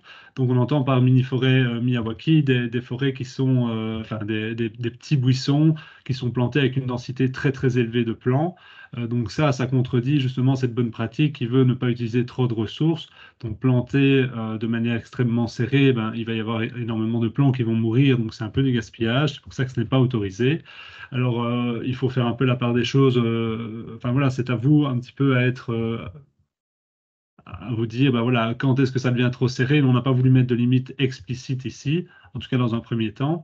Mais on peut se dire qu'à partir d'un ou deux plans du mètre carré, ça devient déjà beaucoup, quoi. Voilà. La déminéralisation n'est pas non plus éligible. Euh, tout ce qui est paillage non biodégradable, donc tout ce qui est bâche, etc. L'implantation de vergers, donc on n'a pas voulu subsidier euh, les vergers dans ce cadre-ci. Les traitements phytopharmaceutiques et l'achat de matériel nécessaire à la réalisation des travaux, comme je vous le disais, ben, l'achat vraiment de machines ou de, ou ou de pelles ou d'outils, etc. ne sont pas éligibles. Alors, la zone de plantation, ben, c'est principalement le territoire communal, mais on accepte également euh, des plantations euh, sur des parcelles privées, pour autant que les projets revêtent un, aspect euh, d'intérêt public spécifique et que les projets soient accessibles au public. Donc, dans ce cadre-là, une convention de gestion est alors obligatoire entre la commune et le privé en question. Et un modèle est disponible sur le site Internet. Ou alors, vous pouvez planter également sur les parcelles de la région Wallonne, sur réserve de l'autorisation du chef de service qui s'occupe de, euh, la parcelle euh, en question. Alors, par rapport au timing, ben donc, les montants vous ont déjà été versés fin d'année passée. Euh, un rapportage annuel était prévu, donc ça, on va modifier, ça va devenir un rapportage euh, facultatif et qui commencera l'année prochaine, donc à partir de mai 2025. Et alors, il y aura aussi un reportage avant mai 2026 et mai 2027. Donc, on a changé parce que c'était assez peu de projets étaient déjà euh, mis en place euh, en mai.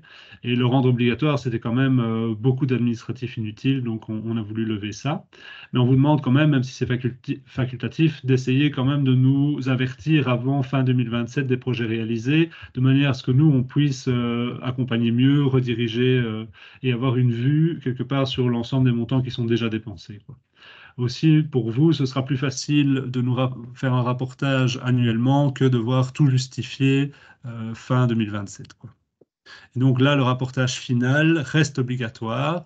Donc euh, avant le 31 décembre 2027 absolument, il faudra nous avoir rendu euh, une synthèse des projets réalisés. Et donc pour ces, deux types de rapportages, nous mettrons en place une plateforme sur le guichet des pouvoirs publics pour que vous puissiez nous rendre ces rapports de manière facile.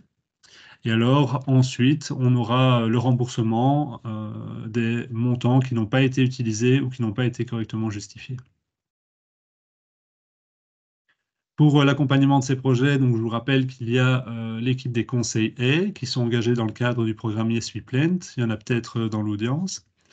Donc, cette équipe peut répondre à toutes vos questions techniques, peuvent accompagner les projets et euh, ce qui est vraiment très intéressant aussi, c'est qu'ils peuvent faire une étude de votre territoire et vous proposer des endroits où planter, euh, puisqu'on avait comme, euh, comme constat que beaucoup de communes ne savaient pas vraiment où, où, implanter des projets pour que ce soit vraiment intéressant. Donc cette équipe est là pour, pour vous accompagner et pour vous proposer des solutions. Donc je vous laisse les contacter via, via les coordonnées qui sont ici. Et donc ils sont très bien au courant de, des conditions d'éligibilité du droit de tirage, donc vous pouvez même les contacter pour, pour des petites questions ponctuelles.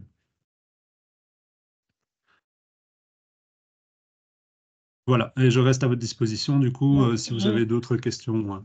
Je suis désolée, le partage CETA été tout seul. Je ne sais pas pour quelle petite dia. Euh, oui, mais je vais quand même voir si ça.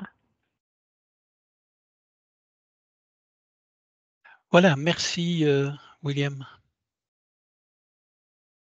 Alors, bon, il y avait donc la dernière dia de William qui était sur les les questions, vous pouvez les, adresses. Euh. on a une page de référence où, euh, où il y a toutes les informations, où il y a l'arrêté ministériel en, cas vraiment de, questions spécifiques. Et c'est sur cette page-là qu'on mettra aussi les liens vers euh, les pages pour le rapportage. Et alors, mon adresse email, donc william.hortmans.spoe.wallonie.be, si vous avez d'autres questions. Voilà. Merci, William. Donc maintenant, on va passer aux questions-réponses. Avant ça, je voudrais quand même faire. Donc, on va. Euh, certaines questions ont déjà été euh, posées au préalable sur l'adresse générique. Euh, normalement, certaines, vous avez déjà dû recevoir les, réponses dans les présentations. On va essayer de répondre maintenant au maximum de questions qui sont arrivées. J'ai vu qu'il y en avait beaucoup, donc euh, Élise, Marion euh, ont, fait leur possible pour essayer de les reprendre toutes et on, va faire notre possible. Si jamais euh, toutes les questions ne trouvent pas réponse aujourd'hui par manque de temps, par exemple, je vous invite toujours, quand vous avez une question, c'est d'abord de relire correctement le VADEMECOM et l'arrêté ministériel. De nombreuses réponses s'y trouvent et j'ai pu constater dans les questions qu'on a déjà eues que parfois on nous posait des questions alors que tout est clairement dit dans le Vademecum. Donc, relisez correctement, et assurez-vous que la, réponse ne s'y trouve pas. Ensuite, allez voir dans l'onglet des questions fréquemment posées qui se trouve sur le site euh, biodiversité. Euh, on va donc créer une liste spécifique des questions posées euh, relatives à cet appel à projet-ci pour éviter d'avoir des confusions avec, avec les trois autres appels à projet. Et puis, si vraiment vous ne trouvez pas, alors envoyez-nous votre question sur l'adresse générique. Et comme je l'ai dit tout à l'heure, on fait le maximum pour répondre, mais euh, voilà, on est une petite équipe et, malheureusement, on n'a pas que les appels à projets à, gérer euh, et notre équipe se réduit fortement. Donc voilà, euh, je vais laisser maintenant peut-être la, la parole à, Benoît qui va nous reproduire les questions. Oui, merci Myriam, je vais essayer de synthétiser ça. Mais avant, je vais demander à Maïté de peut-être reprojeter, si tu peux arrêter ton partage d'écran, Myriam, et Maïté de reprojeter le dernier slide où il y avait une série d'informations que les, participants euh, n'ont pas eu le temps de, de lire et de noter. Mais je ah. rappelle que de toute façon, l'ensemble du PowerPoint sera mis à disposition sur le site euh, biodiversité Wallonie sur le, vocable appel à projet 4 euh, ou bien sous forme d'une fiche euh, documentaire euh, dans la base de données documentaire. je suis désolée, mais je n'arrive pas à départager. Ah voilà. Ah voilà, voilà, je, je cherche, mais je, pense qu'on voit mon, écran là. Voilà, on voit la dia que tu partages. Merci, Maïté. Bien, alors euh, venons-en aux questions. Effectivement, une série de, questions ont déjà été répondues. Peut-être que tout le monde n'a pas eu l'occasion de, le voir. Beaucoup de questions sur euh, les procédures. Euh, le regret que le temps soit limité, surtout pour pouvoir recruter des, bureaux d'études. tu as déjà répondu à ce genre de, questions, hein, Myriam. en fait, il faut pouvoir introduire euh, la demande sommaire euh, dans les trois mois et pas encore recruter de, bureaux d'études. Question aussi qui revient globalement, c'est associer plusieurs euh, types de projets, comme par exemple le, projet, le droit de tirage ici sur la végétalisation et le droit de tirage sur les, les lignes indigènes. Alors là, il faut vraiment faire attention, c'est que si vous euh, mixez plusieurs projets, ça peut être avec d'autres euh, politiques euh, comme la politique intégrée de la ville, etc. il faut vraiment que les postes soient bien distincts et que dans les rapports que vous nous faites, il y ait vraiment une distinction que vous fassiez, je sais pas moi, deux colonnes en fonction des, des différents projets et mettre le montant que vous, attribuez à tel droit de tirage et le montant que vous attribuez à tel autre droit de tirage. Donc, voilà, c'est une gestion peut-être plus administrative, mais il est hors de question qu'il y ait un double subventionnement euh, pour des postes, euh, des mêmes postes. Donc, vraiment faire attention à ça. Effectivement, de même, on, demande s'il est possible d'associer d'autres types d'appels euh, à, de droits de, tirage, comme celui de biodiversité ou celui de, PIMACI, hein, le plan d'investissement mobilité active communale et intermodalité. Euh, même type de, réponse, je pense. Euh, là aussi, il faut bien pouvoir distinguer les différents budgets, les différents postes. Oui, tout à fait. Et penser que ça va être euh, administrativement voilà, quelque chose à, à gérer, que ce ne sera peut-être pas simple, mais qu'il faut absolument que ce soit distincts et qu'on ne subsidie pas les mêmes choses. Alors, euh, concernant le budget, est-ce que tout le budget doit être utilisé? Est-ce que si on n'utilise pas tout le projet, euh, alors on n'a droit à rien? Est-ce qu'on peut présenter différents projets euh, qui dépassent éventuellement le, montant maximum et puis prioriser Et euh, enfin, est-ce qu'on est obligé de présenter un seul gros projet? Non, bien sûr, Tu, ça a déjà été dit. Et dernière remarque là-dessus, est-ce qu'un GAL ou un parc naturel peut introduire euh, des projets pour un ensemble de communes et avoir une approche supracommunale? Alors, je vais commencer par les, premières, les premières questions. Donc, euh, vous pouvez proposer des, actions, des projets pour euh, un montant supérieur au, montant qui vous est euh, octroyé et plusieurs actions et vous pouvez faire dans l'ordre de vos priorités, bien entendu. nous, on vous donnera peut-être les priorités aussi en fonction de ce qu'on de ce qu'on analysera si vous ne dépensez pas l'ensemble du budget, euh, vous devrez rembourser le, non, non, utilisé, mais bien entendu, vous avez droit au reste. Euh, donc, si vous avez, je euh, je sais pas moi, 100 000 euros que vous avez fait vos dépenses pour 80 000, vous remboursez 20 000, mais les 80 000 sont acquis pour peu et toujours que ça, corresponde au comment, aux ambitions euh, de l'appel à projet. Euh, je ne sais plus. Euh, Les autres questions ouais, Donc, c'était donc pouvoir présenter plusieurs projets qui dépassent le montant. donc, ça, c'est clairement possible, mais on, sera limité au remboursement, enfin à l'utilisation du, montant, alloué au droit de tirage. Oui, bien sûr. Euh, il y avait la question. Ah oui, supracommunal. Oui. Euh, donc, euh, nos interlocuteurs dans le cadre de ce droit de tirage, ce sont les commune.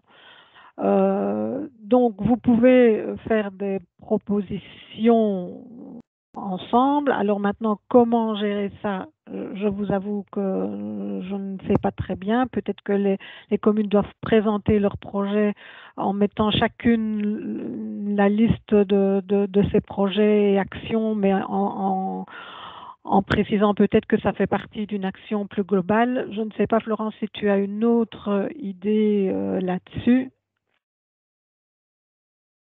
Oui, euh, voilà. Oui, je pense comme toi, c'est donc nous, les interlocuteurs, c'est bien les communes, mais libre à elles, en effet, de s'associer, qu'un gars propose des actions euh, euh, sur le territoire. Oui, c'est envisageable.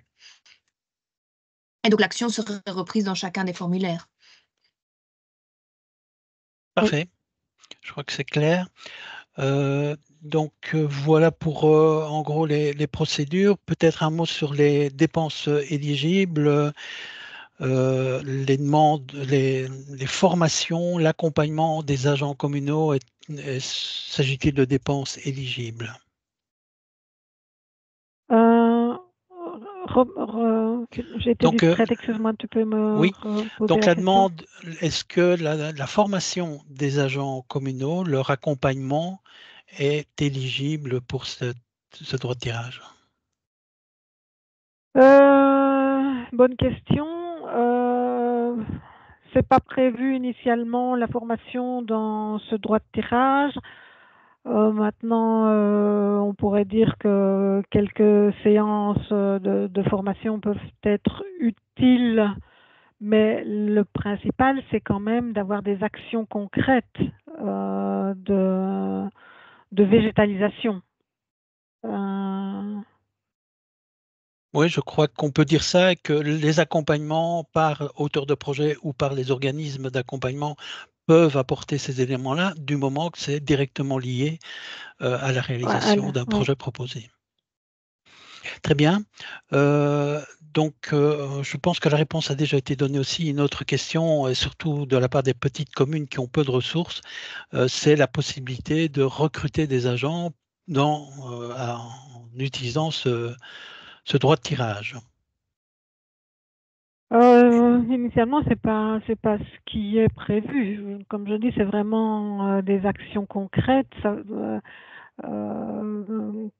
comment, je ne sais pas comment on pourrait goupiller l'engagement de, ressources supplémentaires. à nouveau, je vais faire appel à l'équipe qui peut peut-être me donner des, réponses, euh, des éléments de réponse aussi?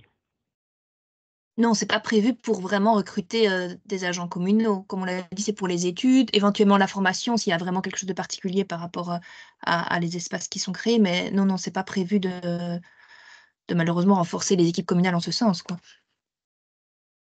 Oui, ok. Merci Florence pour cette réponse qui va effectivement dans le sens que le, les travaux des agents communaux ne peuvent pas être valorisés dans le cadre de cette dans ce droit de tirage, contrairement à celui concernant les, les ligneux indigènes. Mmh euh, des questions plus techniques, est-ce que la dépollution des terres, euh, spécialement dans le cas où on utilise des remblais pour venir ramener de la, la terre pour euh, végétaliser, est-ce que cette dépollution est euh, éligible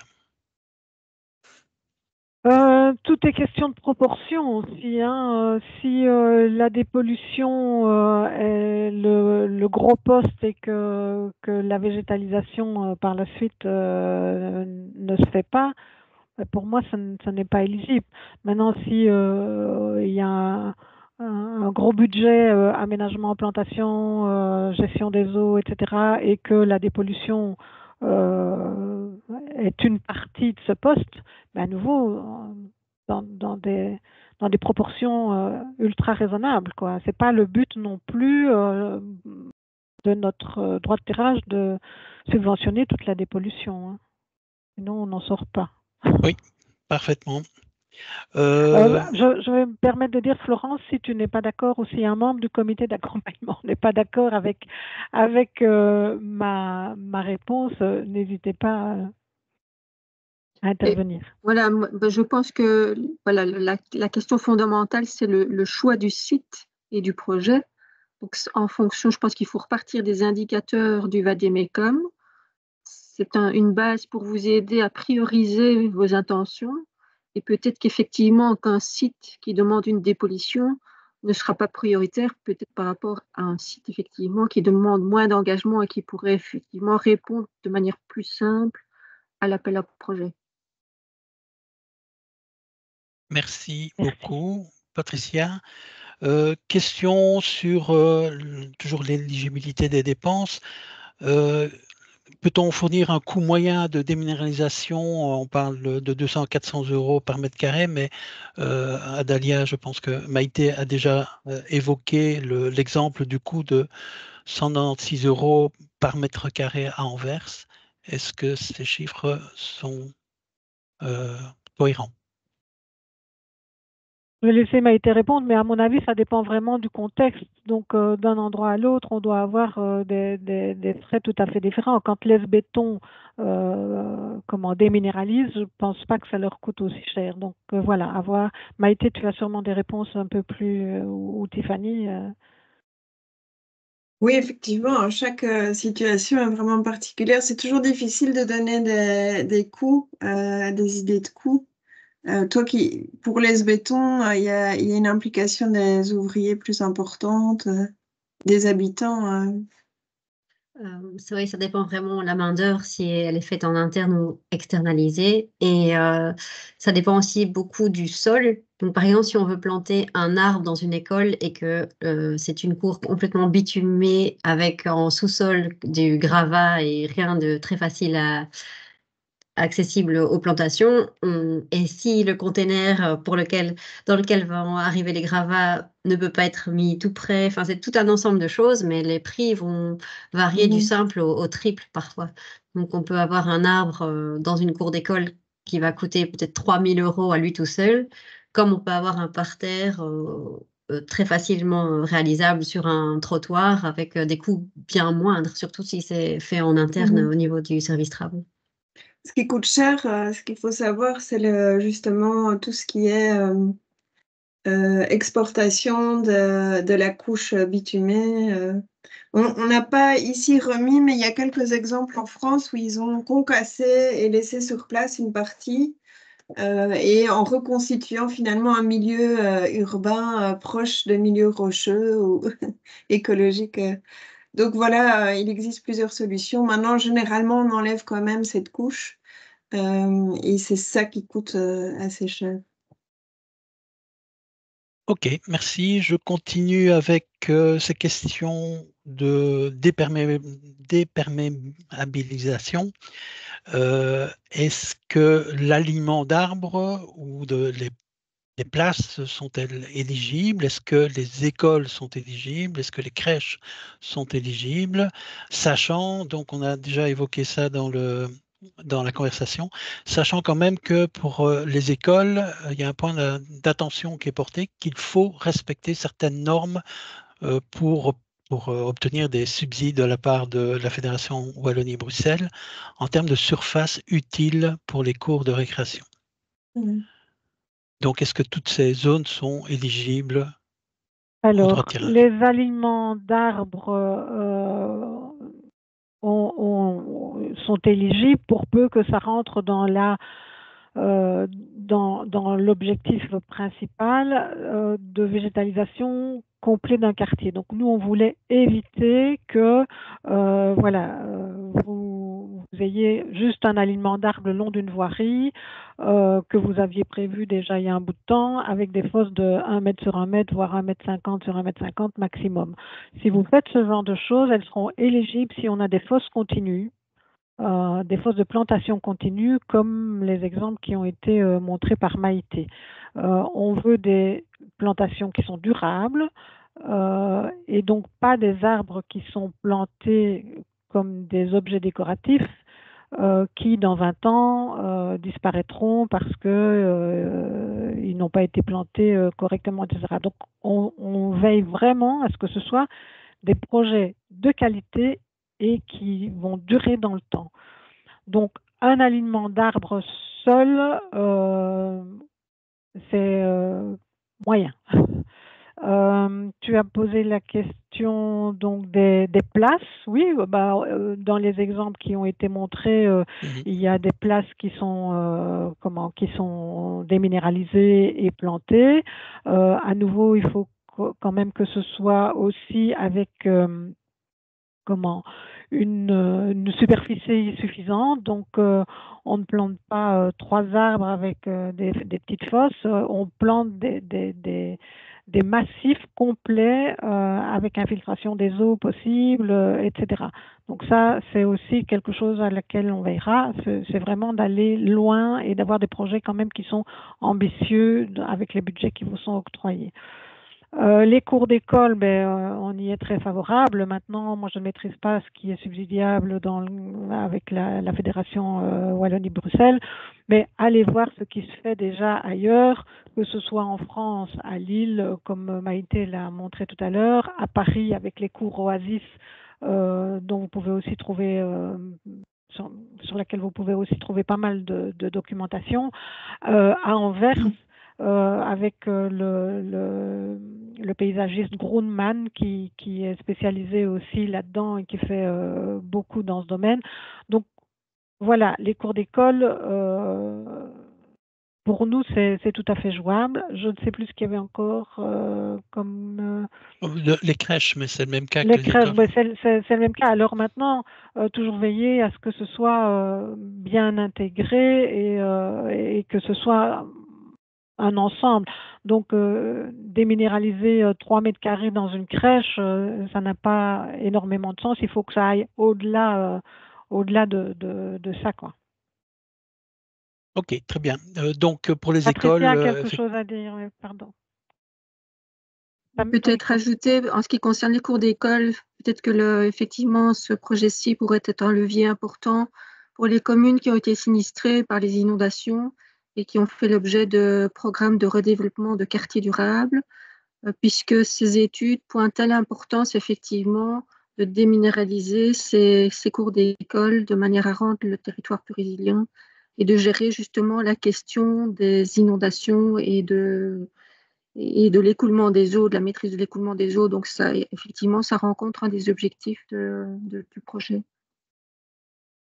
Oui, je, me permets de. Donc, ma collègue Tiffany euh, a, remis un lien très intéressant justement sur euh, les cours d'école avec des exemples de projets et toutes des recommandations euh, précises sur le revêtement, sur différentes choses. Donc, je vous invite vraiment à aller voir parce que je sais que c'est vraiment une inquiétude. hein. Je vois dans les, dans les exemples, on a un peu peur de, de la propreté, de la surface utile, mais voilà, c'est vraiment un des, des- des nouvelles mentalités à, à, à avoir et, euh, Et- et des projets à découvrir, quoi. Ça se Maï- fait et donc. euh, Maïté, une petite suggestion de journée technique euh, Bah oui, oui, par des, des sorties dans des cours d'école pour que les gens puissent voir ce qui se fait ailleurs Oui, et, comment les vrai. écoles qui l'ont fait euh, sont intéressées finalement. Oui, tout à fait. Bonne idée.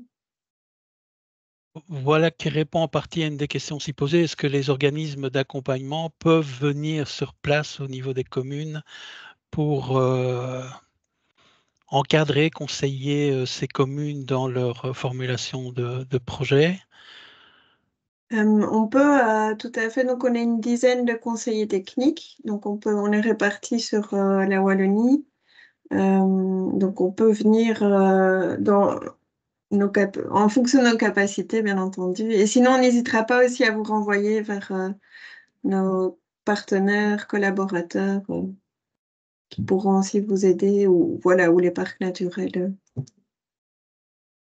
Très bien, merci Maïté. Alors en lien avec euh, ces questions d'école, est- est-ce que les, les écoles autres que communales peuvent euh, être euh, bénéficiaires de ce genre d'aménagement Euh, On peut peut-être élargir la question à tous les autres terrains.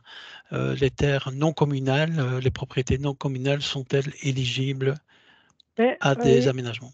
Il était question de toute façon qu'il puisse y avoir des partenariats euh, publics-privés pour peu que ce soit des lieux accessibles au public.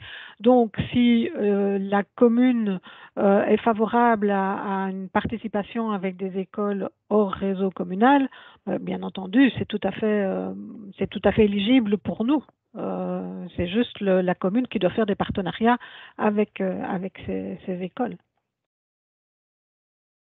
Ok, merci pas mal de questions sur les, outils euh, qui sont euh, notamment euh, les cartes de ICED sur les, îlots de chaleur. On a tâché de répondre à, cette question dans le chat, mais il y avait vraiment beaucoup d'inquiétudes là-dessus. Comment utiliser ces cartes? D'abord, où sont-elles?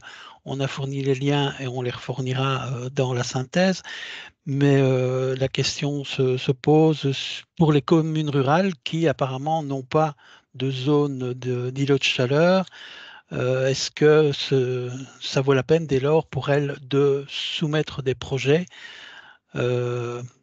Je crois qu'on peut répondre d'une façon générale que les propositions qui sont faites comme critères sont des lignes de conduite et il y a toute une série de critères et dans chaque cas, il y a moyen de pouvoir défendre son projet. Oui, bien entendu. Et, les, communes rurales, je le répète, vous avez quand même malgré tout des rues complètement minéralisées euh, qu'il est possible de, déminéraliser. Et ce n'est pas parce qu'on est une commune rurale qu'on n'a pas de problème d'inondation, de ruissellement, euh, de sol imperméabilisé, euh, ni même d'îlots de chaleur, même si ce ne sont pas les mêmes véritables îlots de chaleur qu'on trouve dans les, dans, dans les grandes villes, euh, même une commune rurale. C'est pour ça qu'on insistait aussi sur l'exemple de Chédigny, que moi j'aime beaucoup. C'est parce que même un village a des endroits qui peuvent être végétalisés. Euh, ou pour lesquels on peut faire des aménagements en faveur de la gestion des eaux pluviales. Donc vraiment, il faut, il faut vraiment vous poser les bonnes questions et voir où vous pouvez intervenir, mais n'hésitez pas euh, à aller voir dans les exemples fournis ou, à revenir un peu euh, vers Adalia, vers nous, pour, pour essayer d'aller au-delà de, de ça. Très bien. Euh, des questions aussi assez récurrentes sur euh, la possibilité de compléter d'autres projets euh, qui ne sont pas nécessairement couverts par un financement, des aménagements de, centre-ville ou bien des, des projets qui avaient été rejetés lors de, des appels à projets précédents. ces éléments-là ont déjà été évoqués, mais alors, à nouveau, c'est les critères qui comptent. Alors, si les projets ont été rejetés dans nos appels à projets précédents, généralement, c'est qu'ils n'étaient pas très bons, désolé, euh, et donc qu'ils ne répondaient pas à nos critères. Donc, s'ils ne répondaient pas aux critères pour les appels à projets précédents, il y a peu de chances pour qu'ils répondent aux critères à, à ce droit de tirage. Donc, le, principal critère qui, était, qui était très très peu respecté, c'était justement l'adaptation au changement climatique. Et c'est pour la raison pour laquelle ici on insiste vraiment sur ce, sur ce, euh, comment, cette adaptation au changement climatique. Donc réfléchissez à pourquoi votre projet a été refusé et ou adaptez-le si le, si le site est, bien choisi. Euh, mais euh, dans ce cadre-là, voilà, c'est tout ce que je peux répondre. Maintenant, je ne sais pas euh, pour euh, l'autre partie de la question. Donc ça c'était sur les oui les autres subsides existants ou les autres projets existants. C'est ça? Oui, c'est ça. Est-ce que des projets qui sont formulés sur certains sites peuvent recevoir l'appui de ce droit de tirage? Oui, mais ça, je pense qu'on a déjà répondu. Euh, si c'est complémentaire, euh, si les projets sont bien scindés, enfin, en tout cas, les, la justification des budgets est bien scindée sur ce qui est euh, subsidié par un des par, par, notre droit de tirage et ce qui est subsidié par les autres politiques, pour peu que ce soit très clair, euh, qu'il n'y ait aucun risque de, double subventionnement. Oui, euh, c'est d'ailleurs écrit dans le VADEMECOM aussi, on peut compléter d'autres euh, politiques. Très bien. Et donc ça, ça répond aussi au cas des perspectives de développement urbain, qui sont aussi des outils proposés aux villes. Autre, autre question très, très, très particulière, c'est qu'est-ce qu'on entend par quartier et qu'est-ce qu'on entend par sobre, notamment dans le cadre de mobilier urbain sobre? Alors, par quartier, euh, au départ, on, considérait qu'un quartier, c'était minimum trois rues pour euh, qu'il y ait quand même un effet euh, sur l'adaptation qui soit suffisamment important.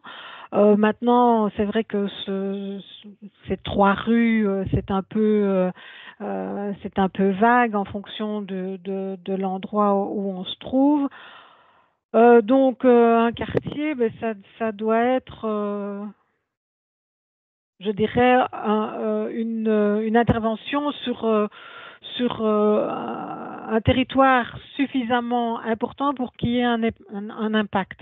Donc, comme je le disais déjà dans la présentation tout à l'heure, aller planter une grimpante dans une rue chez un particulier, enfin, ou, ou, faire une fosse de plantation dans une rue chez un particulier, et puis aller faire une fosse de plantation dans une rue à l'autre bout de la ville, ça n'a qu'un impact limité. Euh, même si c'est tout à fait louable et s'il faut le faire, mais euh, on vous demande des actions quand même qui sont beaucoup plus ciblées sur un, ensemble euh, de quartiers ou sur un ensemble de rues comment contigus pour avoir un impact suffisant.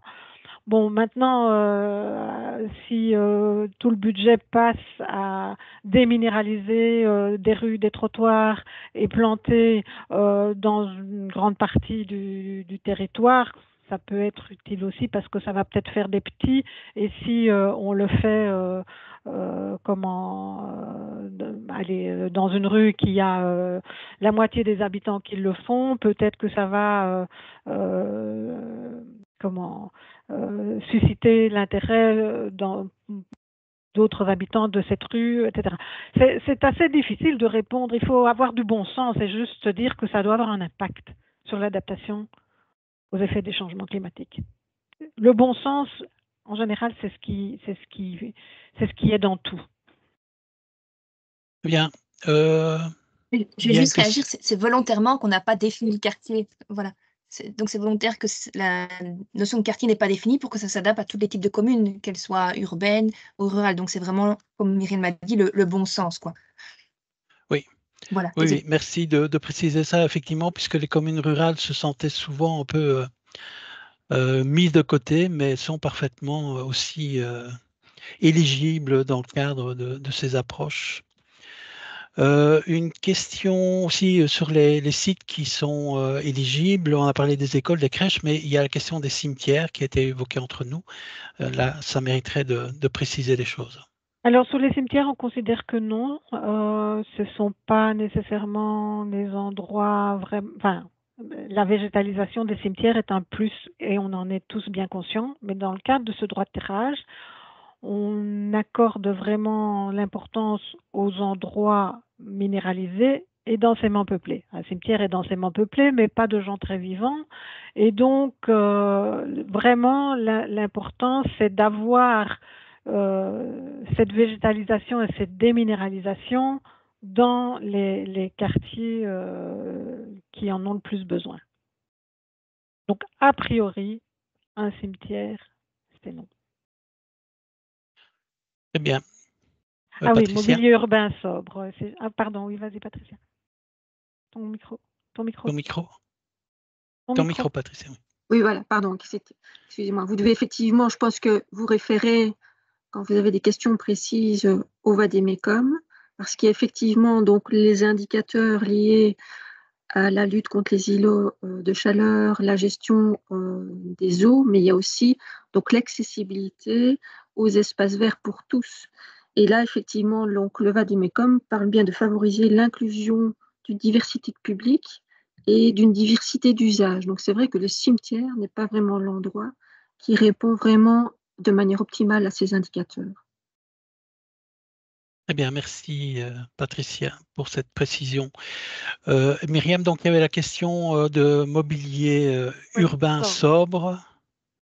Ben, mobilier urbain sobre, ça veut dire éviter d'être dispendieux, à nouveau que le bon sens prime, que l'objectif principal, c'est la déminéralisation, la végétalisation, la gestion des eaux pluviales, et même si pour moi, dans une, euh, dans une ville, euh, la création d'un pocket park, euh, vraiment d'un petit espace vert, nécessite euh, d'avoir euh, de quoi s'asseoir pour les personnes plus âgées, euh, etc. il faut éviter d'être dispendieux dans, ce mobilier. Donc, que l'essentiel soit sur l'aménagement favorable à l'adaptation au changement climatique avec un mobilier sobre. Je, ne peux rien dire de plus que ça. On ne va pas vous donner un montant, mais évidemment, si le, coût du mobilier euh, dépasse, je sais pas moi, 10, 10% ou 15%. Je, je n'ai pas de chiffre en tête comme ça. Ça dépend bien entendu de, chaque euh, budget. Donc, c'est difficile. Un pourcentage pour un budget de 50 000 euros n'est pas le même que pour un budget de, de 500 000 euros.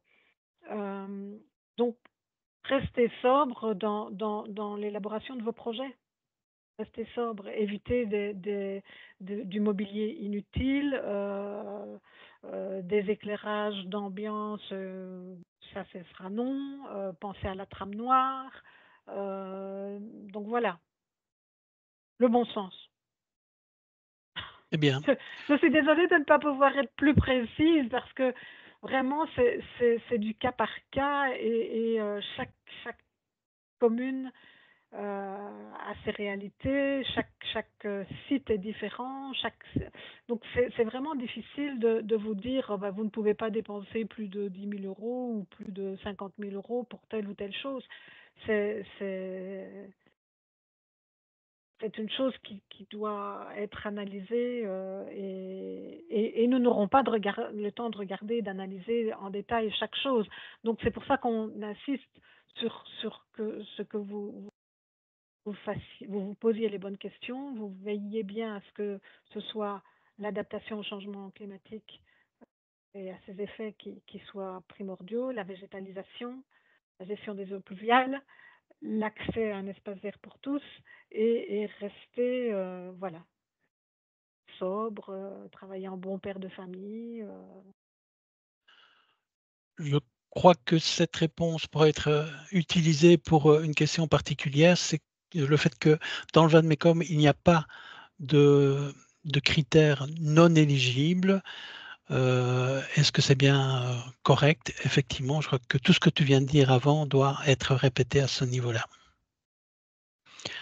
Donc, les, euh, le bon sens est collé au mieux aux critères de, de, de du droit de tirage. Je vais peut-être faire un focus sur les outils. Euh, donc, on a déjà parlé des, cartes ICED. Est-ce que ces, cartes sont-elles accessibles sur le site euh, Wallon Map pour pouvoir euh, zoomer? Je ne sais pas si quelqu'un peut répondre à, cette question. Laurence, tu, tu peux peut-être répondre? Je crois qu'elles ne sont pas accessibles pour le moment, mais c'est la volonté qu'elles soient accessibles sur Wallon Map si je ne me trompe pas. Peut-être que Sylvain, justement, sait plus que moi à ce sujet. Oui, je pense, mais c'est vrai que la WAC n'est plus là. Oui. en tout cas, il y a la, volonté que cette carte soit améliorée, etc., avec euh, des exemples notamment. Donc, c'est vraiment euh, en cours en ce moment à la WAC. On pourra peut-être mettre ça dans une newsletter, etc., pour informer quand euh, il y a une nouvelle version. Alors, j'ai cru voir passer, excuse-moi Benoît, j'ai cru voir passer euh, une, euh, une, remarque disant que ces cartes n'étaient pas à jour. Elles sont peut-être pas à jour, mais c'est tout ce qu'on a. Donc, euh, il faut prendre ce qu'on a comme base d'information. et si vous avez des cartes plus récentes à la commune, bah, faites-nous partager ces, ces, cartes plus récentes. Mais oui, 2017, euh, j'entends bien, mais, c'est mieux d'avoir des cartes de 2017 que pas de cartes du tout. Donc nous, on a quand même besoin d'avoir les cartes de la WAC pour, euh, pour se baser sur, euh, quelque chose. Quoi. Mais n'hésitez pas, si vous estimez que la carte n'est pas du tout conforme à ce que vous voyez sur le terrain et que vous nous expliquez brièvement, de manière concise euh, et clairement pourquoi, voilà. Voilà, et donc éventuellement des, sources, études ou autres, relevés de terrain, qui permettent de compléter ces, cartes. Existe-t-il un outil pour poser un diagnostic sur les priorités à végétaliser? Donc un outil de diagnostic permettant de prioriser les actions de végétalisation. Alors, à l'échelle de la Wallonie, je ne pense pas. Maintenant, je ne connais pas tous les outils qui existent. Euh, maintenant, il y a des, euh, outils commerciaux, je dirais, euh, qui vont dans ce sens. Mais, voilà, ce sont des, outils commerciaux. D'ailleurs, dans la prochaine newsletter, on va vous mettre un, lien pour un, un webinaire qui se déroule la semaine prochaine. C'est un lien commercial, mais qui peut être intéressant quand même à suivre. Alors, ça nous n'avons rien à voir avec euh, cette entreprise, mais, elle va parler adaptation changement climatique et, végétalisation. Et donc, je pense que ça peut être intéressant de, participer à ce webinaire pour entendre ce qu'ils ont à proposer, même si, euh, voilà, euh, on est bien conscient que toutes les communes ne, peuvent pas s'offrir ce genre de service. Euh, dans notre direction, nous aimerions bien pouvoir avoir ce genre d'outils euh, comment, à notre disposition et pouvoir en faire profiter les communes, mais bon voilà, en pour parler, en discussion, en réflexion plutôt. Bien, merci. Euh, dans les outils également, euh, on demande des listes, listes d'auteurs de projets, listes de plantes euh, invasives, ça on a déjà parlé, donc Adalia a fourni un lien. liste de plantes allergisantes. Bah, ça, vous pouvez éventuellement trouver il y a certains liens, pourra peut-être que, Adalia euh, ou d'autres pourront aussi vous partager ces liens, mais il y a certaines pépinières qui ont des, aussi des, des, moteurs de recherche sur base de ce genre de critères. Euh, nous n'en avons pas. Euh, pas ce genre de liste, mais ça se trouve quand même, je veux dire, assez facilement. pour les plantes allergisantes, il doit y avoir un site lié au, au risque d'allergie, etc. Je ne sais plus comment s'appelle ce site, mais il y a un site sur les allergies qui reprend une liste de, plantes allergisantes. C'est un site plutôt santé, je dirais, qui n'est pas lié à nous, mais, mais ça existe. Ben voilà, Tiffany vient de partager. voilà. donc voilà. Et alors pour les auteurs de projets, bah, c'est difficile de, donner une liste d'auteurs de projets parce que bon, ils sont nombreux. Après, vous pouvez revenir vers nous. On peut euh, quand même vous envoyer une liste non exhaustive et qui ne nous engage en rien euh, d'auteurs de projets qu'on a déjà pu rencontrer dans le cadre de, euh, d'aménagement, etc. donc ça, envoyez-nous un un message euh, sur l'adresse générique et on verra si on peut euh, vous dire euh, quelques noms. À nouveau, ça ne nous engage à rien et, vous pouvez aussi en, trouver d'autres que nous ne connaissons pas. Hein. Très bien. Merci Myriam. Je ne sais pas si William est, encore disponible. Il y a une série de questions sur l'appel à projet ligneux indigène. Je vois qu'il a activé son micro, parfait. Euh, donc on a déjà dit que les deux droits de tirage pouvaient être associés du moment que chacun, que ce qui est proposé respecte les critères et qu'on distingue bien les différents postes. Mais euh, pour ce droit de tirage euh, ligneux, est-ce qu'on peut planter des arbres fruitiers? Alors donc les, les, vergers ne sont pas éligibles, mais voilà, ça n'empêche pas qu'on peut planter euh, des arbres pour autant qu'ils sont dans la liste autorisée. Donc euh, pourquoi pas un pommier sauvage ou, ce genre de choses, mais donc pas des variétés qui sont voilà qui ont été sélectionnés pour produire des fruits. Donc ça, ça, ça tomberait dans la catégorie verger. Oui. Et alors une question particulière, est-ce que ça peut servir Attends, il y a Myriam qui voulait intervenir. Excuse-moi, je voulais intervenir sur les fruitiers parce que j'ai eu, comment, on a eu un, message aussi pour le droit de tirage végétalisation des quartiers à propos des fruitiers palissés. Donc, dans le Vadémécum, il est bien indiqué que on évite les arbres palissés et donc, il est bien clair qu'on évite les arbres palissés, c'est pour limiter le, comment euh, limiter l'entretien, parce que les communes se plaignent, ah oui, mais si on végétalise plus, on aura plus d'entretien. Mais si déjà on choisissait des végétaux qui ne demandent pas d'entretien, on limiterait cet entretien. Par contre, la remarque était judicieuse, c'est que des fruitiers palissés dans certaines communes rurales, euh, euh, des, des fruitiers palissés sur des murs, euh, c'est quelque chose qui, qui, en effet, est euh, euh, local, qui est culturel, etc. Et pourquoi pas? Moi, je, serais favorable à ce qu'on puisse reproduire ce genre d'aménagement de, fruitiers palissés. Donc, je parle bien de notre droit tirage végétalisation climat, de, de, mettre des fruitiers palissés sur des murs.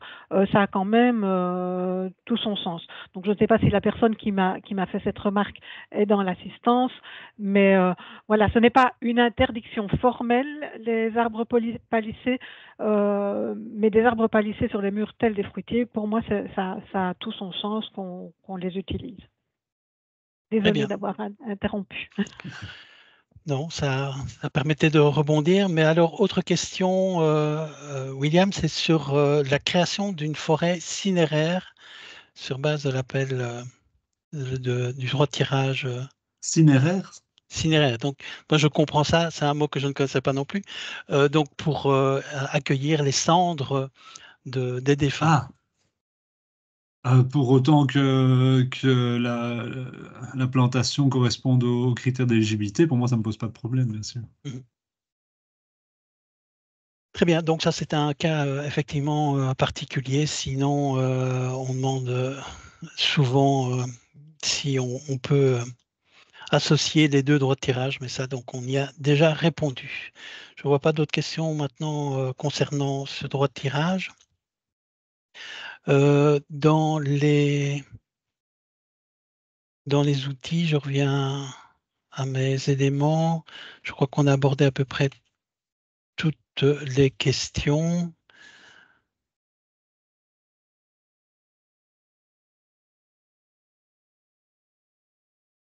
Je viens de voir une question, remplacer les anciens arbres. Mais non, gardez vos anciens arbres. Gardez-les, s'il vous plaît.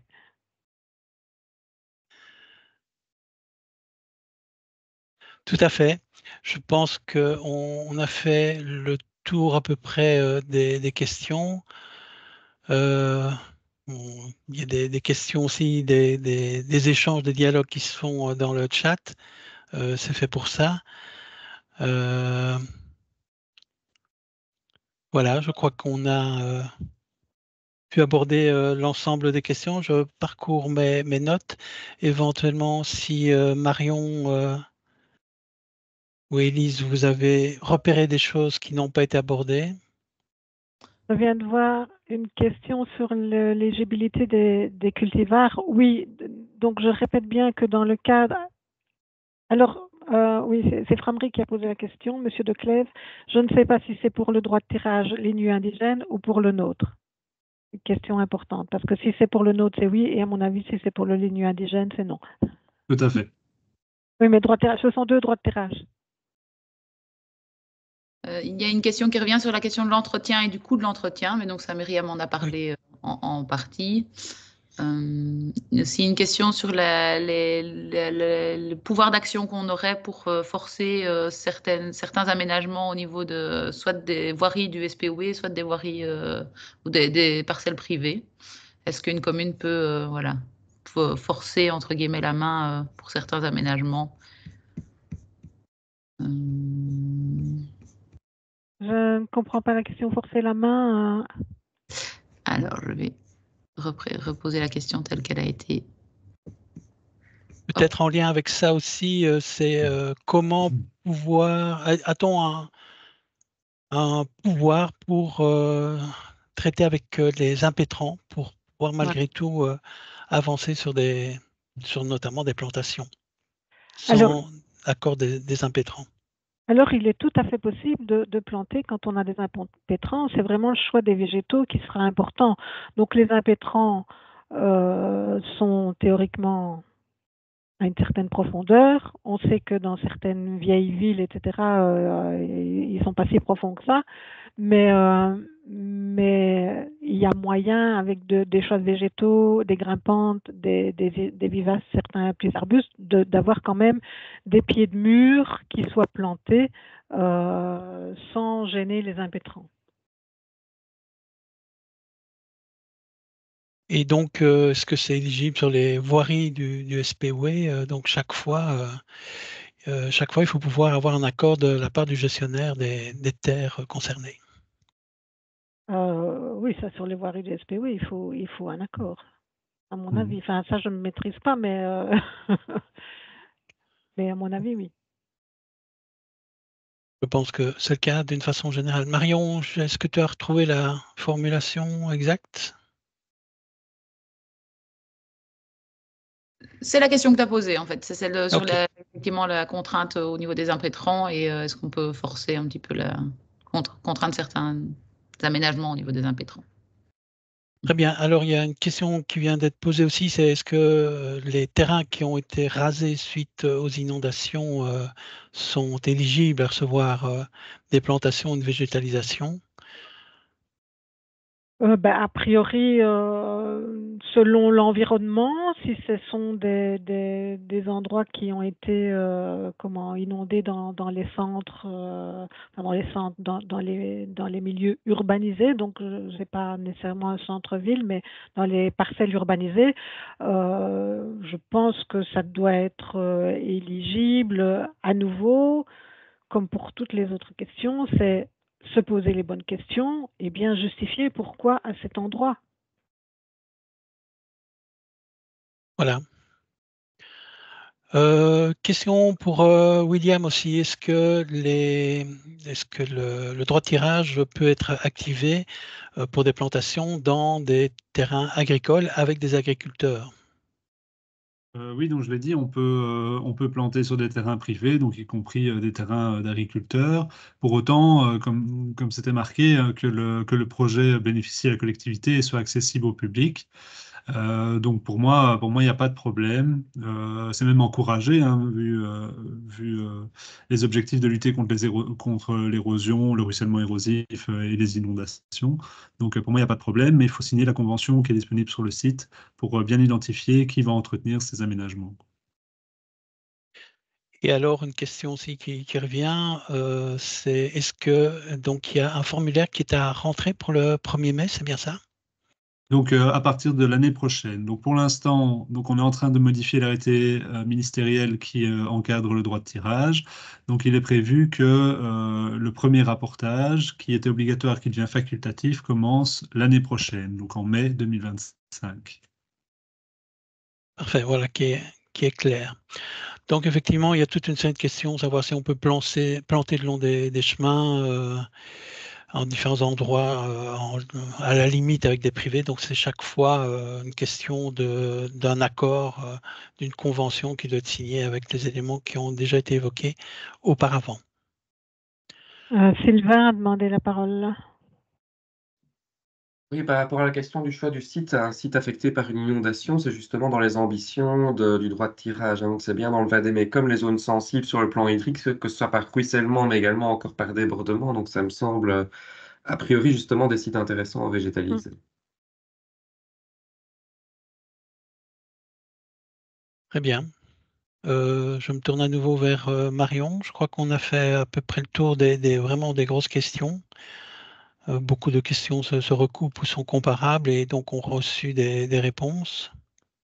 Oui, tout à fait. Bah, il y a toujours les questions effectivement du, privé public, des conventions éventuelles qu'il faut signer entre les uns les autres, la question des agriculteurs aussi, des plantations au niveau des agriculteurs. voilà, mais on en a, on en a parlé. Oui. En, en ce qui concerne le, le privé public et, et, ses conventions, il faut bien se dire que dans le cadre de notre droit de tirage, euh, les, aménagements doivent être pérennes et avoir une durabilité euh, d'une trentaine d'années. Donc, euh, comment? Il faut bien se dire qu'il faut avoir quand même des conventions avec les, les, les, privés, donc que ce soit des, des, des écoles non communales, que ce soit des crèches, etc. Il faut quand même des conventions pour que l'aménagement perdure. Très bien. Euh, voilà, je crois que les autres questions ont été euh, répondues euh, parfois directement sur le, chat. Et sinon, bon, on fera la synthèse de tous ces éléments-là en récupérant toutes ces questions et les réponses qui ont été apportées. On arrive d'ailleurs doucement au moment qu'on avait prévu pour terminer ce, cette séance d'information. Euh, je pense qu'on va pouvoir clôturer, mais je me tourne vers euh, le COMAC. Est-ce qu'il y a des éléments à ajouter euh, par rapport à tout ce qui a été dit? Là, moi, à ce stade, je ne vois pas d'autres choses à ajouter. Donc, n'hésitez pas à revenir vers nous, mais pensez qu'on est une très, très, très petite équipe derrière et qu'on ne sait pas vous répondre instantanément. Nous sommes vraiment confiants qu'il y a moyen de faire de belles choses avec les montants qui ont été euh, attribués. Euh, donc, euh, je, pense franchement que même les, communes rurales qui se sentent peut-être un peu hors du coup, je, pense qu'il y a vraiment moyen de faire des, choses intéressantes. Et donc, on y croit. Voilà une excellente euh, conclusion. Merci à, tous ceux qui nous ont euh, écoutés, qui ont participé activement avec les questions. Euh, on revient vers vous, donc enfin, vous trouverez les, tous les éléments que l'on va mettre en ligne pour poursuivre et donc on souhaite à, à, tout le monde de produire d'excellents projets, d'excellents aménagements pour la Wallonie qui en a quand même bien besoin face aux, aux échéances et aux, aux risques qui s'annoncent. On termine là. Merci à, à tous. Merci à et tous. oui, l'enregistrement sera disponible. Au Merci revoir. beaucoup. Au revoir. Normalement, l'enregistrement sera même déjà disponible, je pense, dans le dans la conversation de comment de, de